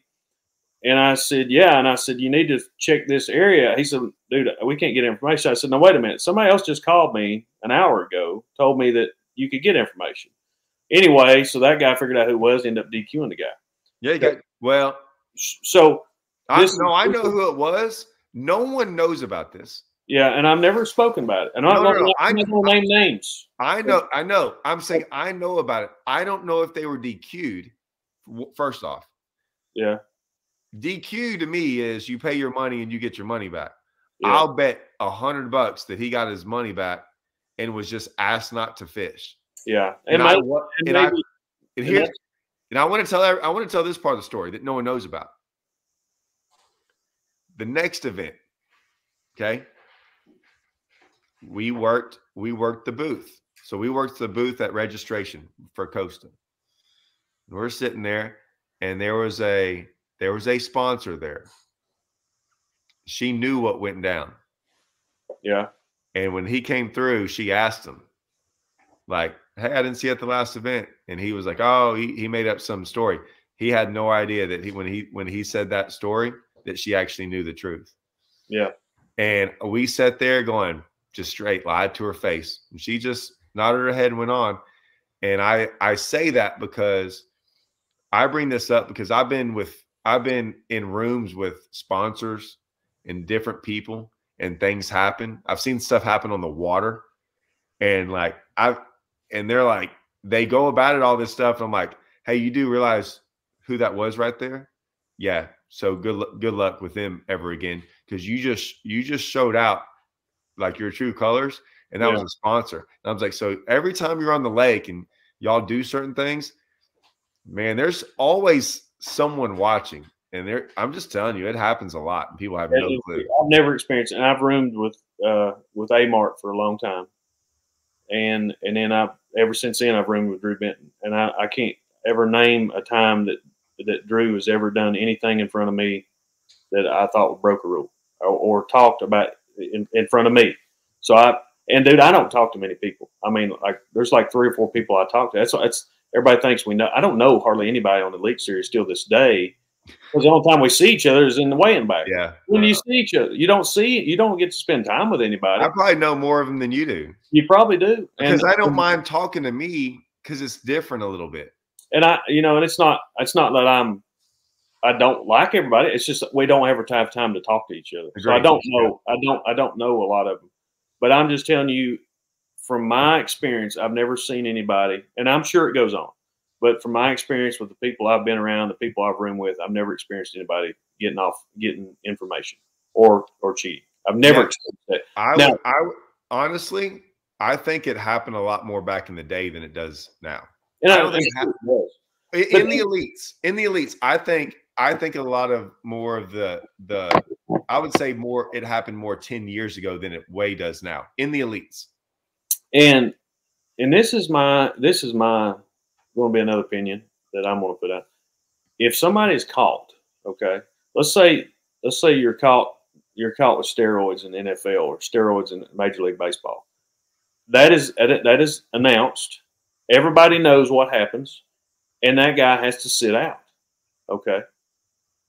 If you're caught cheating or failing a polygraph, that should be announced I agree. and, and the penalty should be more and to discourage this ever happening again so I, I'm, I don't know how organizations run this whatever else but if a guy has failed a polygraph there should be a penalty there should be a sit out time and there should be a consequence for what he just did you know that was wrong so I, I like again i'm not going to say names about I, I don't know who's failed what i'm just saying if i'm looking at that that way that's going to calm some of that down. That way, his sponsors know Well, what he's doing. That well, way, that way, you know, everything's smoothed over, and you're not getting a podcast from a former uh, lie detector guy that's telling everybody that all these people are failing. Let's let's as an organization, let's stand up. Let's have some let's have some you know uh, kahunas about us, and we're going to name out this, and we're going to keep this from happening. We're going to keep our organization Well, straight. so- someone asked me, someone asked me, I think I did live a couple days ago and said, How would you fix it? And I was like, and I shook my head thinking, God, like how how would I? Like I had to th- I started thinking about it. I'm like, well, wait a minute. It's it's easily fixable. Yeah. I was like, what do you what I was trying to think about this way because I was trying to think of because it's fixable if you just do what you just said. The problem was I was trying to think of a way to do it because I know that's not going to be done. That's the problem. It's it would be fixed instantly if they just freaking did what you just said. But we know that they're they've showed us for 20 years that that they're or 30 for however that they're not going to do that. So if they're not going to do that, I was trying to think of another way to do it. But I'm like, yeah, it it would stop guys if they if they started this. And I'm not and what sucks is is you want to know why they can't do it now? You, it's the death penalty Yeah. because they've let it go on for so long that that right now if someone gets caught you're, you're like you might be banished from the sport you know, it's almost like the Epstein deal, where this guy is, is is convicted of sex trafficking to people, but nobody knows who. Like, he, who did he sex traffic to? There's never been names released. You know, I, Yeah. Have you ever? And so, so he's been penalized, but we don't know why. But right at least, at least he got put in jail or some kind of consequence. It's like, you know, this is all rumor, so I don't know. It's just like if somebody does something bad, there's no consequence. So I, no, and, and like I said, it and they let it go on for so long. You're Like, and, and that was there's been a couple guys that have kind of gotten they didn't get a bad rap. They got what they deserved, but it made a lot of other fishermen mad that someone got in trouble, right?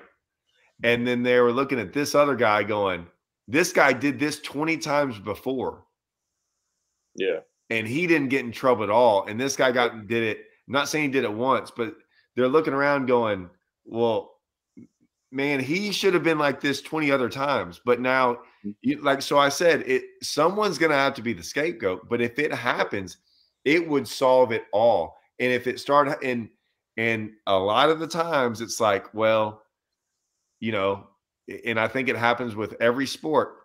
Depending on who you are, is depends on if you're going to be the one that gets punished bad. Right, Yeah. right. There's going to be guys that like, well, he's. It's going to be harder for them to punish a star than than not. yeah, yeah. You know, what, you, you hate that. And, You and hate listen, Go you- the polygrapher said the MLF it would ruin guys' careers, not to release the info. That's not from the polygraph guy. The polygraph. Oh, okay. I'm sorry. Said that in MLF. I was about to say, correct. We have been hearing the same thing over and over again. That's not the polygrapher. I know you didn't say that. You said said MLF said that. That's what these guys have said. They don't from the organizations have said it from day one. They they don't want to ruin a guy's career. They're not ruining a guy's career. They're not. The angler is who's doing it. They are not. But yeah, the organization keeps saying it. Yeah. And then they and then they find Watson for like Watson. Did you listen to that polygraph thing? No, uh, Well, I so everyone on here, there was tons of people that uh that got on here and told me to go watch it. And I don't watch stuff like that, but I went I went and watched basically the whole thing. And uh it was so funny when he gets on there and he was talking about it all. And I don't want to get into it because it was really good. But and he doesn't talk about lying and telling the truth. That's not what he says. He doesn't view it that way. He views it as he's very sophisticated and part- like he looks at spikes and things like that and what what triggers certain things and and and he gives examples of like what you have to do to like protect the president you have to have a certain a plus you know nine or eight whatever it might be right and then there's negatives if you're negative you're it's really bad but you have to be a certain part like protect the president he was like he named off two people that he said because Trade asked like, give me some names of some anglers that like scored really high. James Watson and Ish Monroe came were the two names I heard him say. Yeah. And but it's funny. And then Watson's the one that gets fined. Yeah. Yeah. So Yeah. And I like James. oh yeah. But all right. We've been, we've been on long enough. But I, I'll leave you this, man. I do a daily devotion now, and, and I'll leave you with Proverbs 11, 12. A man who lacks judgment derides his neighbor, but a man of understanding holds his tongue. And there's a lot of situations now where there's, you know, a lot of negativity out there, and a lot of people put their opinion out there that, listen, just be quiet. Let it ain't for you to have. It's it's like eh, Proverbs 23, 17. Do not let your heart envy sinners, but always be zealous for fear of the Lord. And you look at that, it it ain't it ain't for us to judge somebody else. And that's probably why, you know, I don't do a lot of I used to do a lot of funny videos and stuff. And that's probably the biggest reason why I don't do a lot of them. It ain't for me to point out judgment and it ain't for me to make fun of somebody, even though it's probably true or what I'm making fun of is true. It ain't my, none of my business. So it's just like, just keep your focus on what you can do, the things you can control, and and uh, you know, love God, and everything's going to work out. So I'll leave Well, y'all. and, and and I don't I don't really uh when I say like I stopped holding my opinion a long time ago what what I'll say it, but I don't like I don't think anyone on here can really say sit there and say I talk bad about it, anyone. it ain't necessarily opinion, but it's judging somebody else. You know, No, and I'm not so- saying you're doing that. I'm just saying this is the this is the Right. I write down for my hourly study every day. And yeah, I don't really hit some- home to me, so it might help somebody else. there's some guys on YouTube that that like try to um you know get clicks and do certain things here and there and all that Yeah. stuff like I don't I try to stay away from that and just do my own thing Yeah, but I but I I have as I get older I I don't hold my tongue anymore to like that there's that there's situations out there that people don't understand so like if tournament organizations aren't they're like hey how come you know like kind of giving more insight as to like what's actually going on out there. It's not against anybody per se. It's Yeah. just like, hey, why are they doing this? And I'm like, well, y'all are being misled a lot of information. And here's the information we know. And Yeah. that's why even you weren't here at the very start of this, is that I started this entire this is a great way to end. I started this entire thing saying that I I was going to kind of talk about what I think might happen at Rayburn, but I don't like doing that because I'm scared to death that I think it should be one live scope and everything, and then then like top tens, all guys throwing rattle traps. Like I'm way off.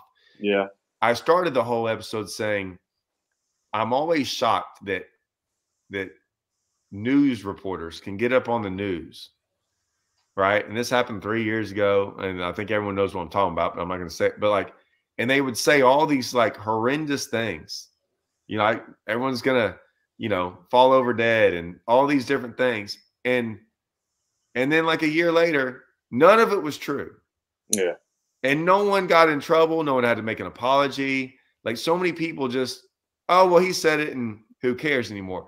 Because I'm always like, hey, when we say it, it's recorded right now, right? It's live. So I I'm always just one to sit sit there and go, man, I I want to um I don't ever want to say something that I that I'm not 100% sure on. Right? So so a lot of the stuff we talk about there's we might not name names or say but like I don't want to sit there and go say some of the stuff I've been saying, and then like six months later, someone's like, "Well, that didn't happen, Todd." Well, I don't have that come back and bite me because like I'll say stuff, but I know it's true. Like I know these things are going on, and I just want to let everyone else know because if I all I did was say all these things, and some guy six months later is like, "See, you weren't right," I'm like, "Yeah, don't ever listen to me ever again." But until that happens, maybe I'm right. May, maybe listen to Watson yeah, right? Yeah. If you can find a hole in Watson's story, call him out on it. But guess what? No one ever finds a hole in Watson's story. right. In fact, it might be the opposite. It might have been so good that he got in trouble for it. I don't know the details, but like I said, I, I try to keep my business to myself, focus on myself, and do the best I can. I'll put it to you this way: I bet you he didn't get fined for for lying. Yeah, yeah. I'll put it to you that I bet you what he I bet you the fine wasn't because he lied about something. yeah, right. You know what I'm saying? Because if he mm-hmm. lied about something, I be, they would have just shut slept it off. But yeah, we'll end it at that. Well, dude, enjoyed it. If you need anything, holler. All right, hold on. God bless everybody.